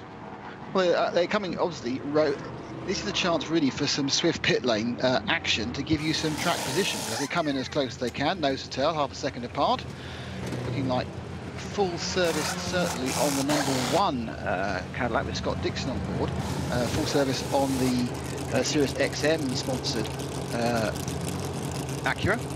That's also, so I mentioned that they're all going for a full service. Perhaps it's too too slow for later. It's even more than a 60 car actually, with Juan Montoya's machine, because that's got the nose off and they're having a little bit of an adjustment on the suspensions. They're actually having a little bit of a, a wrench attack on the front right. That's not going to be, I would think, for repairs. They're doing it on both sides. They're actually making a setup change whilst they can during this this stop. This means they'll drop back. Of course, they won't lose much track position because, of course, they get reshuffled into the order of, of, of DPI again. So they've obviously decided that losing track position of three or four three or four cars is worth it for this change of the suspension setup. So must have got something slightly wrong. Perhaps it's bumpier than they thought, or perhaps they're taking the advantage to tune it more for the temperatures as they will first raise and then fall during the rest of this race, John. Nick Damon with that VP Racing Fuel Pit Paddock report as the nose is still being held at the front of the MSR Acura and unfortunately exactly where we can't see what the work is that's going on, but there's quite a lot of wrench action in there, uh, Nick. Yeah, it's, it's, it's unfortunate. I don't I don't know. Having not been in the pit lane with those cars, I don't quite know. Oh, to shift the spanner. It, it looks looks like steering arm. They are doing well. It could be the yeah, it could be they're just going to change the toe. Then they're going to be changing the um, the attitude of the wheels. Normally, um, unlike road cars, most race cars run with toe out to help the car toe in. That means the, the front wheels, if you looked at them, would actually have the front of the wheel is, is, is pointing away from the car, and the rear of the tyre is pointing towards the car. It's called toe out. Uh, makes the car less stable in the straight line. these are racing drivers. who does give them more bite on the turn. Now, it could be they have too much bite, not enough bite or it could be, of course, that they, uh, as they go over the bumps, it's changing too much. They may have neutralised it. Yeah, as we were saying, 18 feet per lap of suspension movement. If you add all the suspension. Um, 18 feet just around Sunset Bend, to be honest. Well, indeed, it is very, very bumpy. Very, very bumpy indeed. That uh, MSR Acura is back out of the pit lane. Thank you uh, for the moment, Nick. And trying to figure out why the number 48 car didn't come into the pits then um, with everybody else. It's been out we'll 15 laps as well, exactly, 16 laps, yeah. yeah. Weird. Um, something uh, fishy out because I don't think they were able to. I don't think they, they, could have been trying to get Max. We've just gone past the three-hour point in this race. Yeah, they, uh, yeah, they, they're only doing Endur Michelin Endurance Cup, so they yeah, they will want only, to be leading at the top of the yeah, next hour. Ne exactly, that's what, that's my point. It's the next hour, not this hour. Yeah, correct. Uh, so I'm not quite sure why they would have stayed out there because they're going to need a, fairly, a stop fairly soon. I, all I can think is that. Uh, Somehow, it is four, eight, and twelve, isn't it? I'm not getting that wrong. It's not. Uh, it's not three, six, nine, and twelve. Yeah, no, it's it's four, eight, and twelve. Yeah, exactly. Uh, right, yeah. Uh, they'd been coming in a wee bit early, let's not forget. In fact, you know, last time on a full green flag run, they would have been in at the end of this lap. Um, that's what they did. They only did the what, 16, 17 lap run. Here come the GTs. Pfaff with the number nine Porsche. That's a driver change there, Nick Damon. Yeah, it's, it, it's, a very, very busy pit lane. The entirety of the GT field rolls in. Not if anyone's actually not got it. Just the LMP3 driver. Yeah, we haven't yet seen a couple of the the back of the GTD field. Just wondering whether haven't actually got round the corner yet to uh, to enter uh, the pit lane yet. But currently, yeah, there's the uh, Alegra Motorsport 28, the Magnus uh, 9, Andy Lally, the Team Hardpoint EBM 88, the Sun Energy 75 all decided not to come into the pits. Uh, at the moment. They are running, and the rest of the cars at the front end have come in. And getting a freight change there on the. Uh, no, more people taking. Yes, that's a, that's a rotor change by the looks of it on that uh, very attractive and vibrant Lexus car from uh, I think it was just pads, wasn't it, Nick? There weren't rotors as well. Well, yeah, but don't forget. I, I oh no, no, you're right. I take that not, back. You're not. You're not allowed to have. Am I right that you're not allowed to have dry brakes on GTD? You can't have a dry brake system. I think that's. I think that's difference on.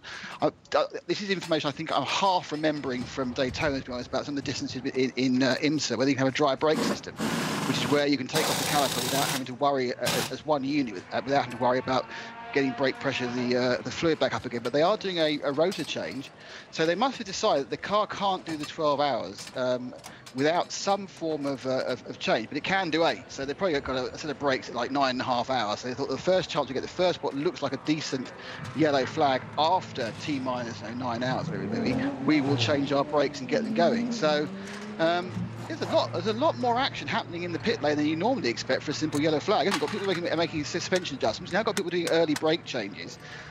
Run to the flag. People are, are already, as you say, packed timing to uh, 10 past 10 uh, Florida time this evening.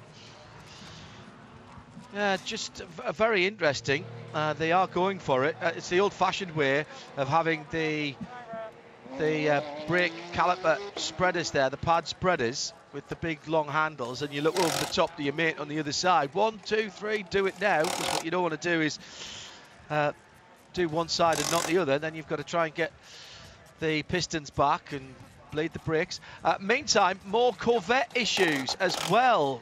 Nick Damon, this is the car that had the problems earlier on had issues. It's needed control alt delete with Tommy Milner, and they've been still running a little bit low on power. The car's got Nick Tandy. Now they are now uh, having a go at getting the airbox off, which looks expose the top of the engine. Now that might give them access to the coil pack, so it could be they've got Correct. a misfire which needs a you know a replacement of the coil pack, and of course this just takes too long under a green flag when you've got a, a lap time of uh, you know, five or six minutes you do with, a, with behind the safety car. You can get in, get out with a good team, uh, and get a coil pack change. They know number seven's not working properly. That's the one they can do. Just arrow arrow sharp onto what it is. My, my guess is what they've done is that is they are chasing this misfire, which is the worst thing of all, super intermittent.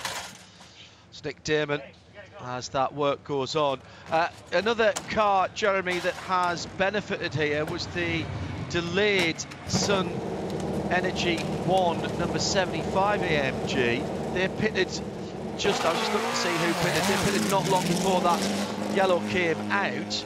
Kenny Habul in the car, so double bonus for them.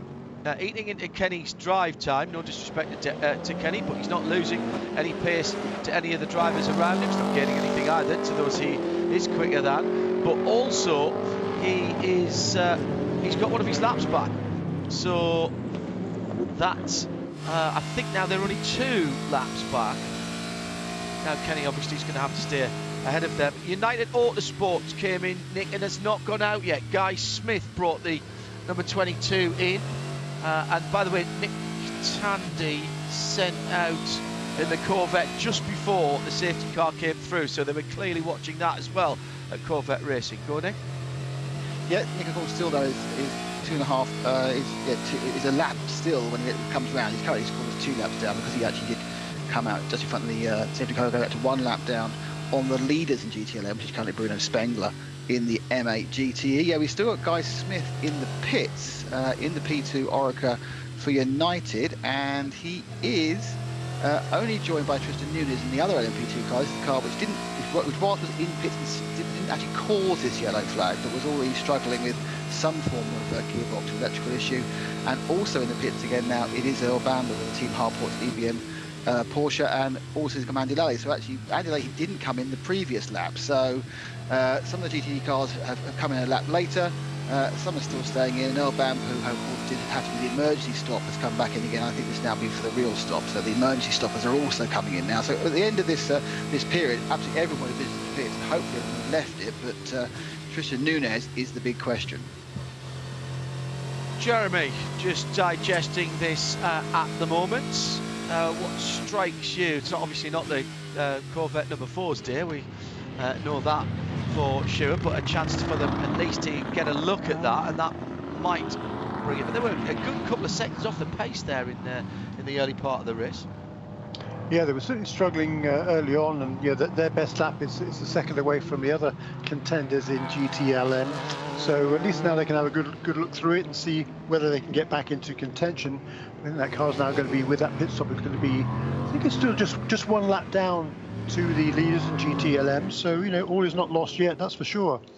Um, but uh, this this this should certainly benefit uh, a couple of the prototype cars. The it's the wave around happening now where, uh, for those of you familiar at the racetrack, not familiar with the uh, systems here in IMSA, any cars that are trapped in between the safety car and the class and its own and its class leader uh, can go past the safety car, run around to the back of the pack, and take up position at the tail end of the field. Uh, and that uh, should benefit the, the number five car, which is now just uh, one lap, which is now, I think, should be back on the lead lap again. Uh, and the uh, number 31 car, which should now, I think, be just two laps back. where is it? Going back to green now. Did that not take place? Uh, I've got so much on the uh, race control channel that I can't scroll back to that now. Uh, we are going back to green and the Cadillac DPI of Simon Pagenaud then led them across the line with a handy 1.5 second lead. And looking a little bit further back down the roads, Tristan Vautier who is a lap off the lead, is now second in the line and has only one car to pass before he gets back to the front of the, the field. He's been followed along by Felipe Nasr, who of course is three laps uh, off the lead. All a little bit of a lock-up going into the hairpin by the Mustang sampling Cadillac. It stays ahead. So the dark grey with uh, gold striping on it, desperately trying to get somewhere near Pagenaud. So what happened there is the, the number 31 car wasn't able to get, oh, because the number 48 car stayed out. Okay, Correct. That's, that Correct. It.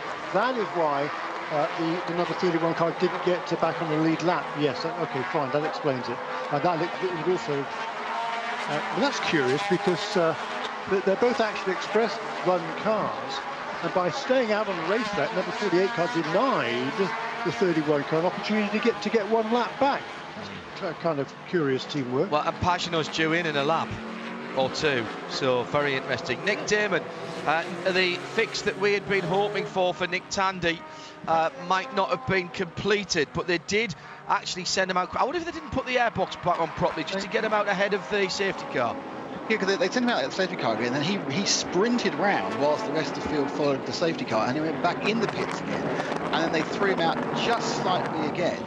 Uh, in front of the field. At that point, the field's at full speed, so he'll be uh, swallowed up by the DPIs. But I think he's already been swallowed up by the DPIs uh, already because he got out a few seconds before them. But they obviously, as you say, John, they, they, thought they could get an extra lap. They probably wanted an extra lap of, uh, of yellow to get back on the field. But of course, until we get rolling again, we won't know whether this has actually fixed the car as far as the performance is concerned. Uh, and also a problem for Sean Creech, the 33, so Sean Creech Motorsport, the uh, 33 prototype, getting a penalty, Nick. Yeah, not not fulfilling the emergency service requirements, so because can either stop and have a 10 second stop and go. So uh, the question would be what he did wrong. My guess is he probably uh, either uh, overfilled or he didn't come in at the first available opportunity to do this. Oh, and a oh. One.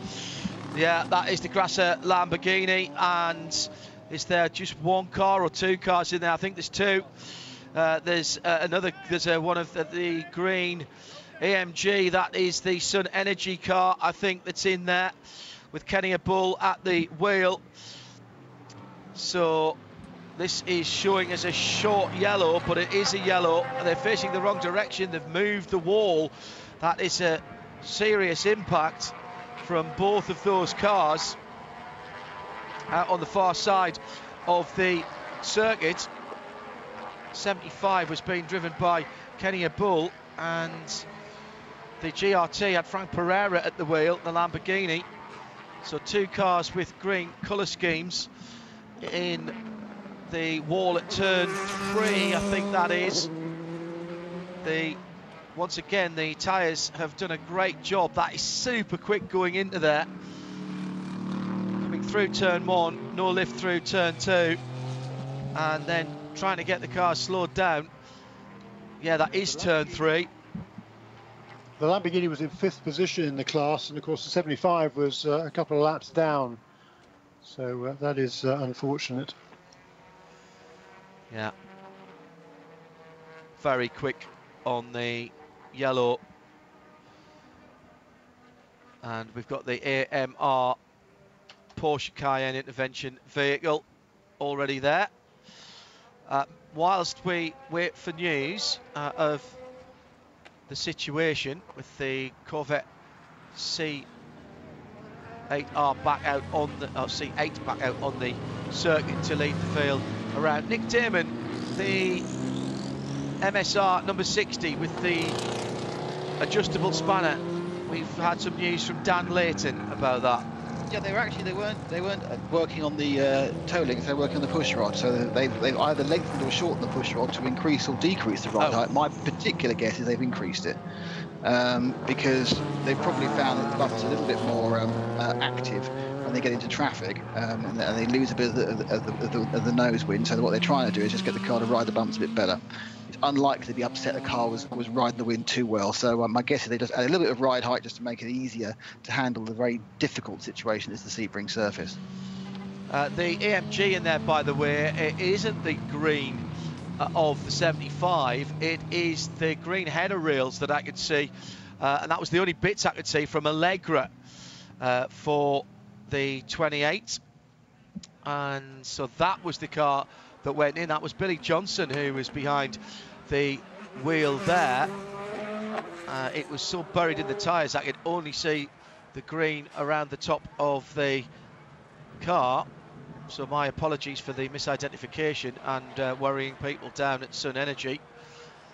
Definitely the GRT Grasser Lamborghini, but it's the 28 Alegra car in there. And already we've got the flatbeds in there, ready to take those cars away. They've gone in side by side. It's clearly half or three quarters spun and It- it- yeah, it is. Yeah, so I just said yeah, uh, and, and they were they were running quite high up, Jeremy. I think they were in in the top four or five, weren't they, um, at the the restart? Yeah, yeah. No, the, the 28 and the 19 were battling for position. Sorry, I thought we, I thought we. No, I, I, mis- I, 35 misidentified, I, I misidentified it Yeah, uh, no, first up, no, and then no, it, they- they- when they I were- saw it from the other side, because the, the first view that we saw was from behind the fence, and I could only see the green part of the uh, the roof and the orange, and I thought it was the uh, the Sun Energy car. And once I we saw it from behind, I realised it was the Alegra car. Yeah, so no, that they were battling for fourth and fifth positions, uh, those two. Uh, so they're going to uh, exit the uh, the stage, which is un- unfortunate. So two of the, the contending cars are now out of out of out of the out of contention. Franck Perera is out of the car. You might have heard the cheers from the crowd, just uh, letting them know that uh, they are pleased to see him all right. He looks a little bit shaken, but he's walking uh, pretty much unaided. Billy Johnson is his driver's door is stuck up against the wall. It was at turn two, actually, and through into three. They were battling for position. Oh, Perera lost it early, and Billy Johnson uh, was uh, absolutely nothing to do with him. Franck Perera losing it under the brakes, tried to go to the inside and avoid the AMG, but was uh, heading to the scene of the accident very quickly, and all he uh, did was take Billy Johnson with him, I'm afraid. Uh, Billy Johnson out of the car and has been speaking to his team before he got out of the car. The reason it took so long for Billy to get out was because his driver's door was wedged up against the right up against the driver barrier. His helmet is off. He's talking to the safety crew. So again, uh, confirmation of the two cars, the Alegra Motorsport AMG and the Franck Perera, that was Billy Johnson, the Franck Perera driven GRT Grasser Lamborghini. Expect, uh, mistake you would make, expect Franck Perera to make. a hugely experienced, of course, is uh, is Frank the Frenchman, and uh, yeah, that's uh, wow. He just he just lost it, didn't he, on, the- on, the brakes? Weird with with ABS on these cars. Well, strange. one or two people who have been reporting ABS problems, of course, uh, on. Although that was on an, uh, um, an AMG, of course. Sorry, Nick Damon. Uh, news Yeah. news from you was the scores on. No, I, I, just sorry, I was just echoing a similar thought to, to Jeremy. Realistically, you know, on a GTE car, if that car had done that, you'd say, right, he's got his brake bias too far to the rear. He's locked the rears in, in, in, under heavy braking and cold tyres.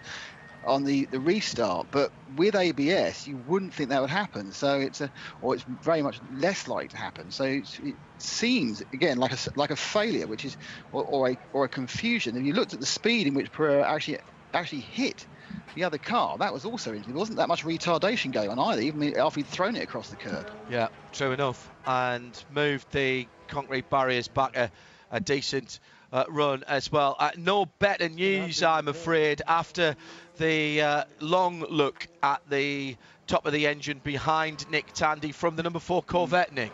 Yeah, it's done the thing which uh, means bad news in American motor racing, that it's gone behind the wall. They couldn't work on it on. They tried the best they could with a bit of time on the pit lane, and it's not going to be a, a fourth consecutive win, I'm afraid, for Nick, unless there's some, some ridiculous selection of circumstances. Back behind the wall, they'll have a chance to get the airbox off, have a look at all the uh, um, the, the injectors and the uh, sparks, and see exactly why this thing's not running properly.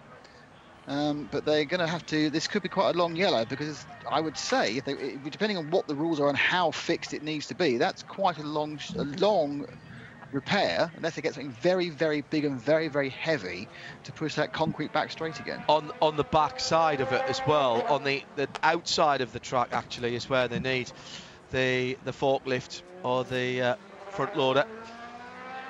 Grasser Lamborghini looking particularly second hand on the right front, but both of those cars taking a pretty big impact and proof if proof were needed that whilst uh, GT3 might be uh, one of the uh, entry classes to GT uh, racing. Those cars are to very high safety standards. There was literally no retardation at all from Perera. Got onto the curb at turn three and tried his best not to hit the back uh, or the side of the Billy Johnson AMG, the Alegra car. But uh, was sort of airborne as well when the first impact happened. And then there was a second impact as well. Billy Johnson's car actually spun further round uh, clockwise. So most of the damage is to the left front there, whereas the GRT Grasser Lamborghini uh, hadn't gone quite as far around, or at least was straightening it, straightening it up at that point and therefore it's the right front of that car that came into the heavy contact. Well, they have managed to get not one but two large uh, front loader forklifts, one either side. The problem, the problem, the one that is on the outside of the circuit has got is it's uh, going to be difficult to get access because we've got one of our camera towers right be right behind it. But this, as Jeremy, this, as uh, Nick said, is not going to be a, a quick fix here. Uh, and sort of reasonable for Simon Pagenaud. He's staying out in the lead, but surely that's got to come in shortly. Nick Damon, he's been out, uh, this is his 23rd lap out now, and it's also going to completely ruin their tactics for the uh, the four hour mark if uh, this goes on for very much longer. Well, it's 23 laps. We've had what six of those or seven of those under caution, um, which is you know Nine, at no. most at most Nine. half fuel. Nine of those. So at most half fuel. You know, you, you can tickle those things along on virtually nothing on uh, uh, on, on, on non-race. So he's, I mean, he's, he's not happy because this is not going to be a short stop. You know, you, you kind of think there's going to be at least another 10 minutes sorting this out, which is another what uh, three laps at this speed. So it's going to be very very touch and go. He will take it to the fumes um, and uh, and hope to have something work for him. But uh, yeah, a big risk. And of course, if they do go, as you say, there's two there's two elements. It's going to absolutely louse their um, their strategy up because they have to do a emergency stop first and then a second stop. Uh, which will stop them, but both ruin their track position and their attempt to uh, for the endurance cup. Um, That's, well, that's four half, hour mark. ha- half an hour away, so they've still got half a chance of that, um, I suppose. Uh, See, I, I think that's, that's an interesting point, isn't it? Because this, this has meant that the other cars aren't going to have to stop again. Mm. They were they would have run over their 40 minute sin, wouldn't they? But now they won't because they, they only ran one lap of green, and now they're going to have 20 minutes of, of yellow. So they'll easily be able to run on the fuel they've got past four hours, which they wouldn't have done. Whereas the Ally, the Ally Cadillac is going to have to uh, come in and stop and, go, and drop to the back of the queue. So they're going to have a best a best case scenario of um, fifth, aren't they? Because there's two cars which are laps down. So that's really not worked in their favour at all. And as an aside, Nick Tandy's back out again, John. Ah, so he's come out from uh, uh, in the paddock area. Thank you. Uh, into the pit lane that time around was the GTD second place car, and Jack Hawksworth is aboard that now. Jeremy, that is the number 14 Lexus. Uh, yes. Sorry, what was that, John? I Uh, missed that one. Jack Hawksworth uh, in and out for emergency service in the number 14 Lexus. Oh, okay. That's curious because he was in. He was in with everybody else, I think, during the, during the uh, at the beginning of this, during the previous caution period. So that's curious that he should have to come in again to check that one out. Uh, what that last caution period did do, though, was get uh, the Magnus Racing Acura of Andy Lally back on the lead lap in GTD. So unfortunately, we lost two of the lead lap cars, number 28 and the number 19, through that incident. But number 44 car is on the lead lap uh, with everybody else in uh, in GTD. Yeah, and anybody who has in any of the classes where you've got to get time in for a bronze driver, anybody who has their driver in at the moment, um, you can't plan for these things, and but it sometimes just falls that way.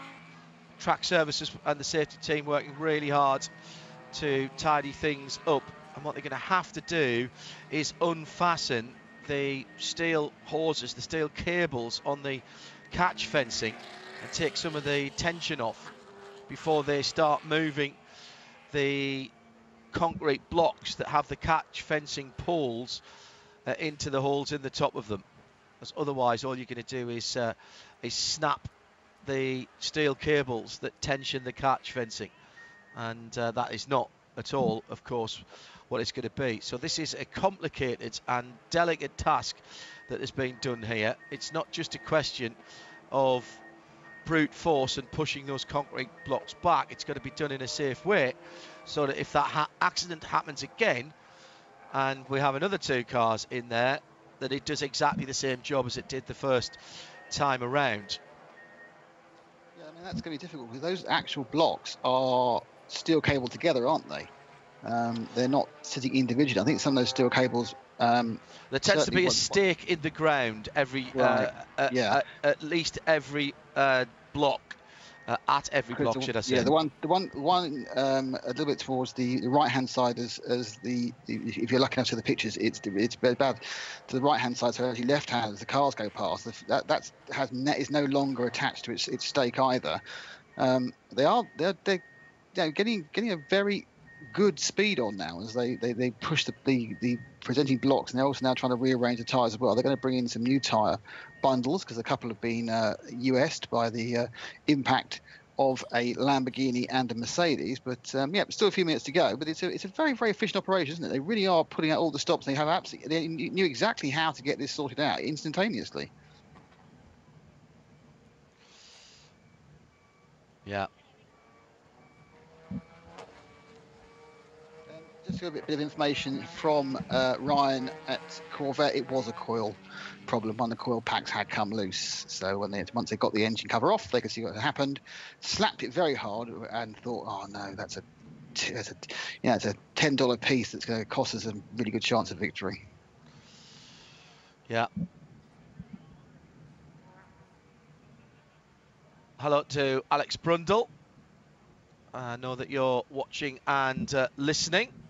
Thank you for uh, your inputs and uh, lovely to see that you are gainfully employed again in your day job behind the wheel for 2021. And uh, try and get back in the commentary booth as well at some stage over the season when his busy racing schedule allows. And hello, Allan McNish. as well, who is uh, listening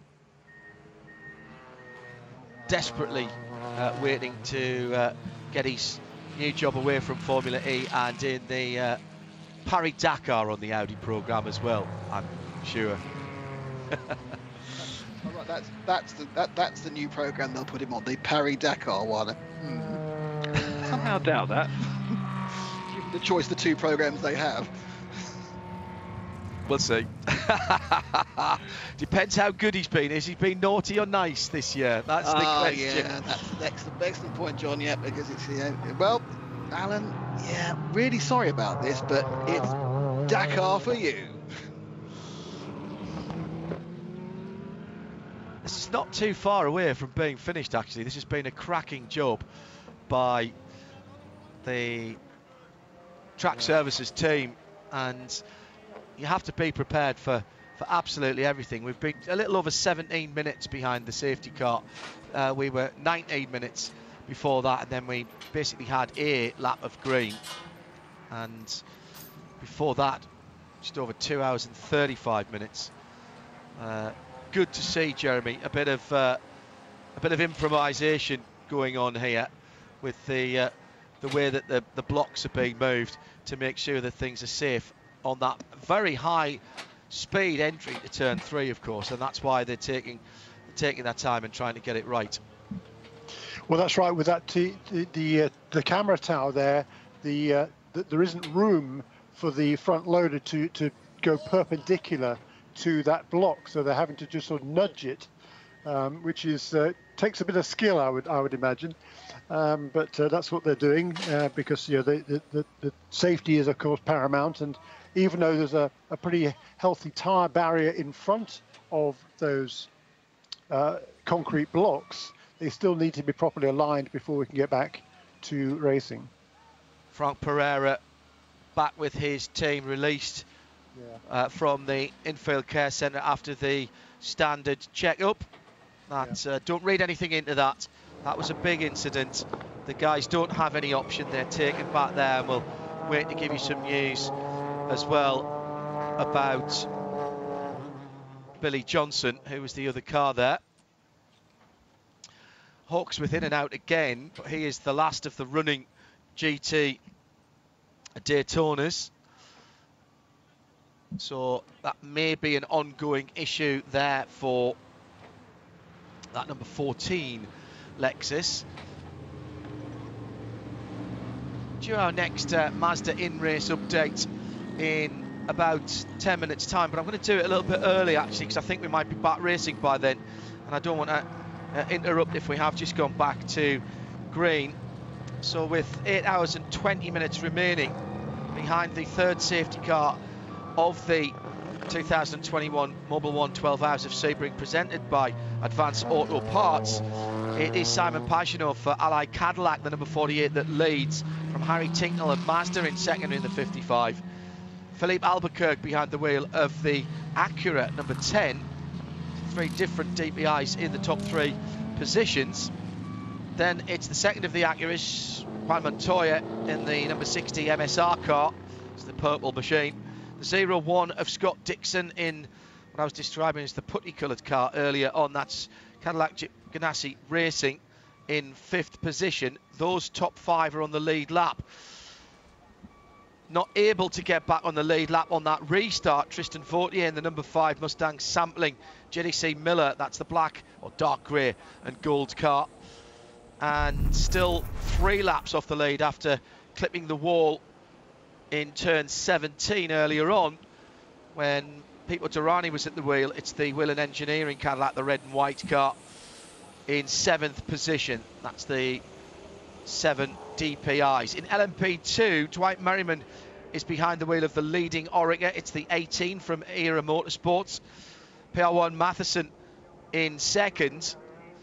And that is Ben Keating in the wins car, the 52 Oreca, and third John Farano for Tower Motorsport uh, in the Oreca number eight. And they are all on the lead lap. Guy Smith for United Autosports has now dropped uh, three laps after that long stop for the number 22. Allan McNish will be delighted with Harry Tincknell, uh, somebody he looks after in second position uh, as well. Just realised why Alan is tuned in.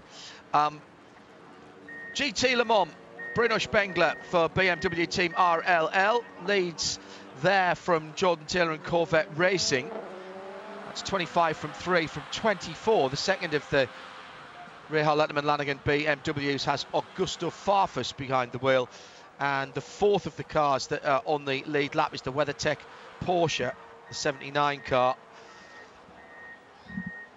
And uh, Matt, as I say, in fourth position. LMP3, Dan Goldburg for Performance Tech leads in the 38 Ligier from Austin McCusker in the number 7 of 47 Motorsports. That's the Duqueine in second place in P3 and João Barbosa for Sean Creech Motorsport. I think has fallen off the lead lap in... No, he hasn't. He's just gone across the line No, Yes, he has. He's fallen off the lead lap in in LMP3. Just had to wait for the safety car line to go through there and check that up. In GT Daytona, it's Paul Miller Racing's Lamborghini. Corey Lewis uh, leads in the number one from Laurens Vanthoor for Pfaff Porsche. That's the plaid coloured car, the number nine in second. And Wright Motorsports, Jan Heylen in the blue, number 16. That was the pole sitting car. Third place, Roman De Angelis. Roman De Angelis in the heart of racing. Aston Martin, the number 23. Fifth, Bear Figueiredo for Team Hardpoint ABM in their Porsche. It's the 88 car. Zach Veach makes up the top six for Vasser Sullivan. The other Vasser Sullivan Lexus, uh, Nick Damon, uh, had some brake issues. Well, we saw him come in during the, uh, the, the first of these two stops, very close to the two yellow flag situations, and, they, and him and his teammate both uh, had a complete um, pad change at the front, or brake, brake rotor and pad change at the front. Um, then they found out that they had to replace a brake hose. Sometimes he knocked something and they've lost um, uh, a bit of pressure and, and, and, they had to bleed it as well. It takes some time. And then apparently he had to come back in again because they hadn't actually touched the hood properly. So um, it sounds like someone's going to get a severe talking to about uh, about not breaking things whilst you're trying to mend them. Uh, but uh, he's back out again. Uh, but uh, I think he's did he manage from running stay on the same lap? I think he's lost. He's lost track position. See where, where, where, it unwinds whether he's actually lost a lap or not. Um, also, unfortunately, uh, despite running a single lap to see if things were fixed, Tristan Nunez in the Win Autosport Oreca, he's come back into the pits again. So obviously they, they, they tried all the control alt deletes they could, John, but the electrics still aren't um, behaving themselves, and they are in the pits. In fact, I believe they are the only car in the pits now uh, despite the fact that the 33 car, who you mentioned earlier, whether on the right lap or the wrong lap, which of course is the Sean Creech Motorsport car with Halaversa, has once again not managed to do its emergency pit stop properly uh, and hasn't uh, fulfilled its emergency requirements. So it's got its second stop and go of 10 seconds. Okay. Uh, so, reminder then after that Mazda in race update, whilst the work continues, you're listening to IMSA Radio live coverage from Sebring for the Mobil One 12 hours. Around the track, you can listen on FM 99.1 WWOJ, Sirius 216 XM392, and around the world on RS2, part of the Radio Show Limited network of channels. Uh, that's how it stands then, with the safety car still out. Uh, we will move into another clock hour in a couple of moments' time here on RS2.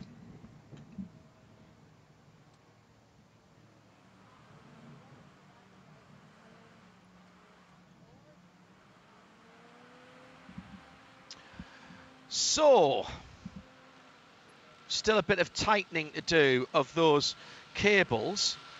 And once that has been uh, completed, then I think we shouldn't be too far away from uh, getting back to green flag racing. The cars were uh, the cars were cleaned up quite some time ago, and both of the drivers, I believe, have exited the pit lane uh, or the infield care centre, I should say. And I'm sure that uh, there'll, there'll be a little word being had just to find out the circumstances of that to find out whether it was a big issue or a small issue or just a mistake by Frank. Not saying there was anything at all malicious there, but uh, I'm sure race control will want to know. Shea Adam is rejoining us. Hello. Potentially a nasty incident there, Shea, but good news is it looks like uh, whilst the cars will need fixing, uh, it's only carbon and metal, and the important thing is that the two drivers uh, seem to be fine.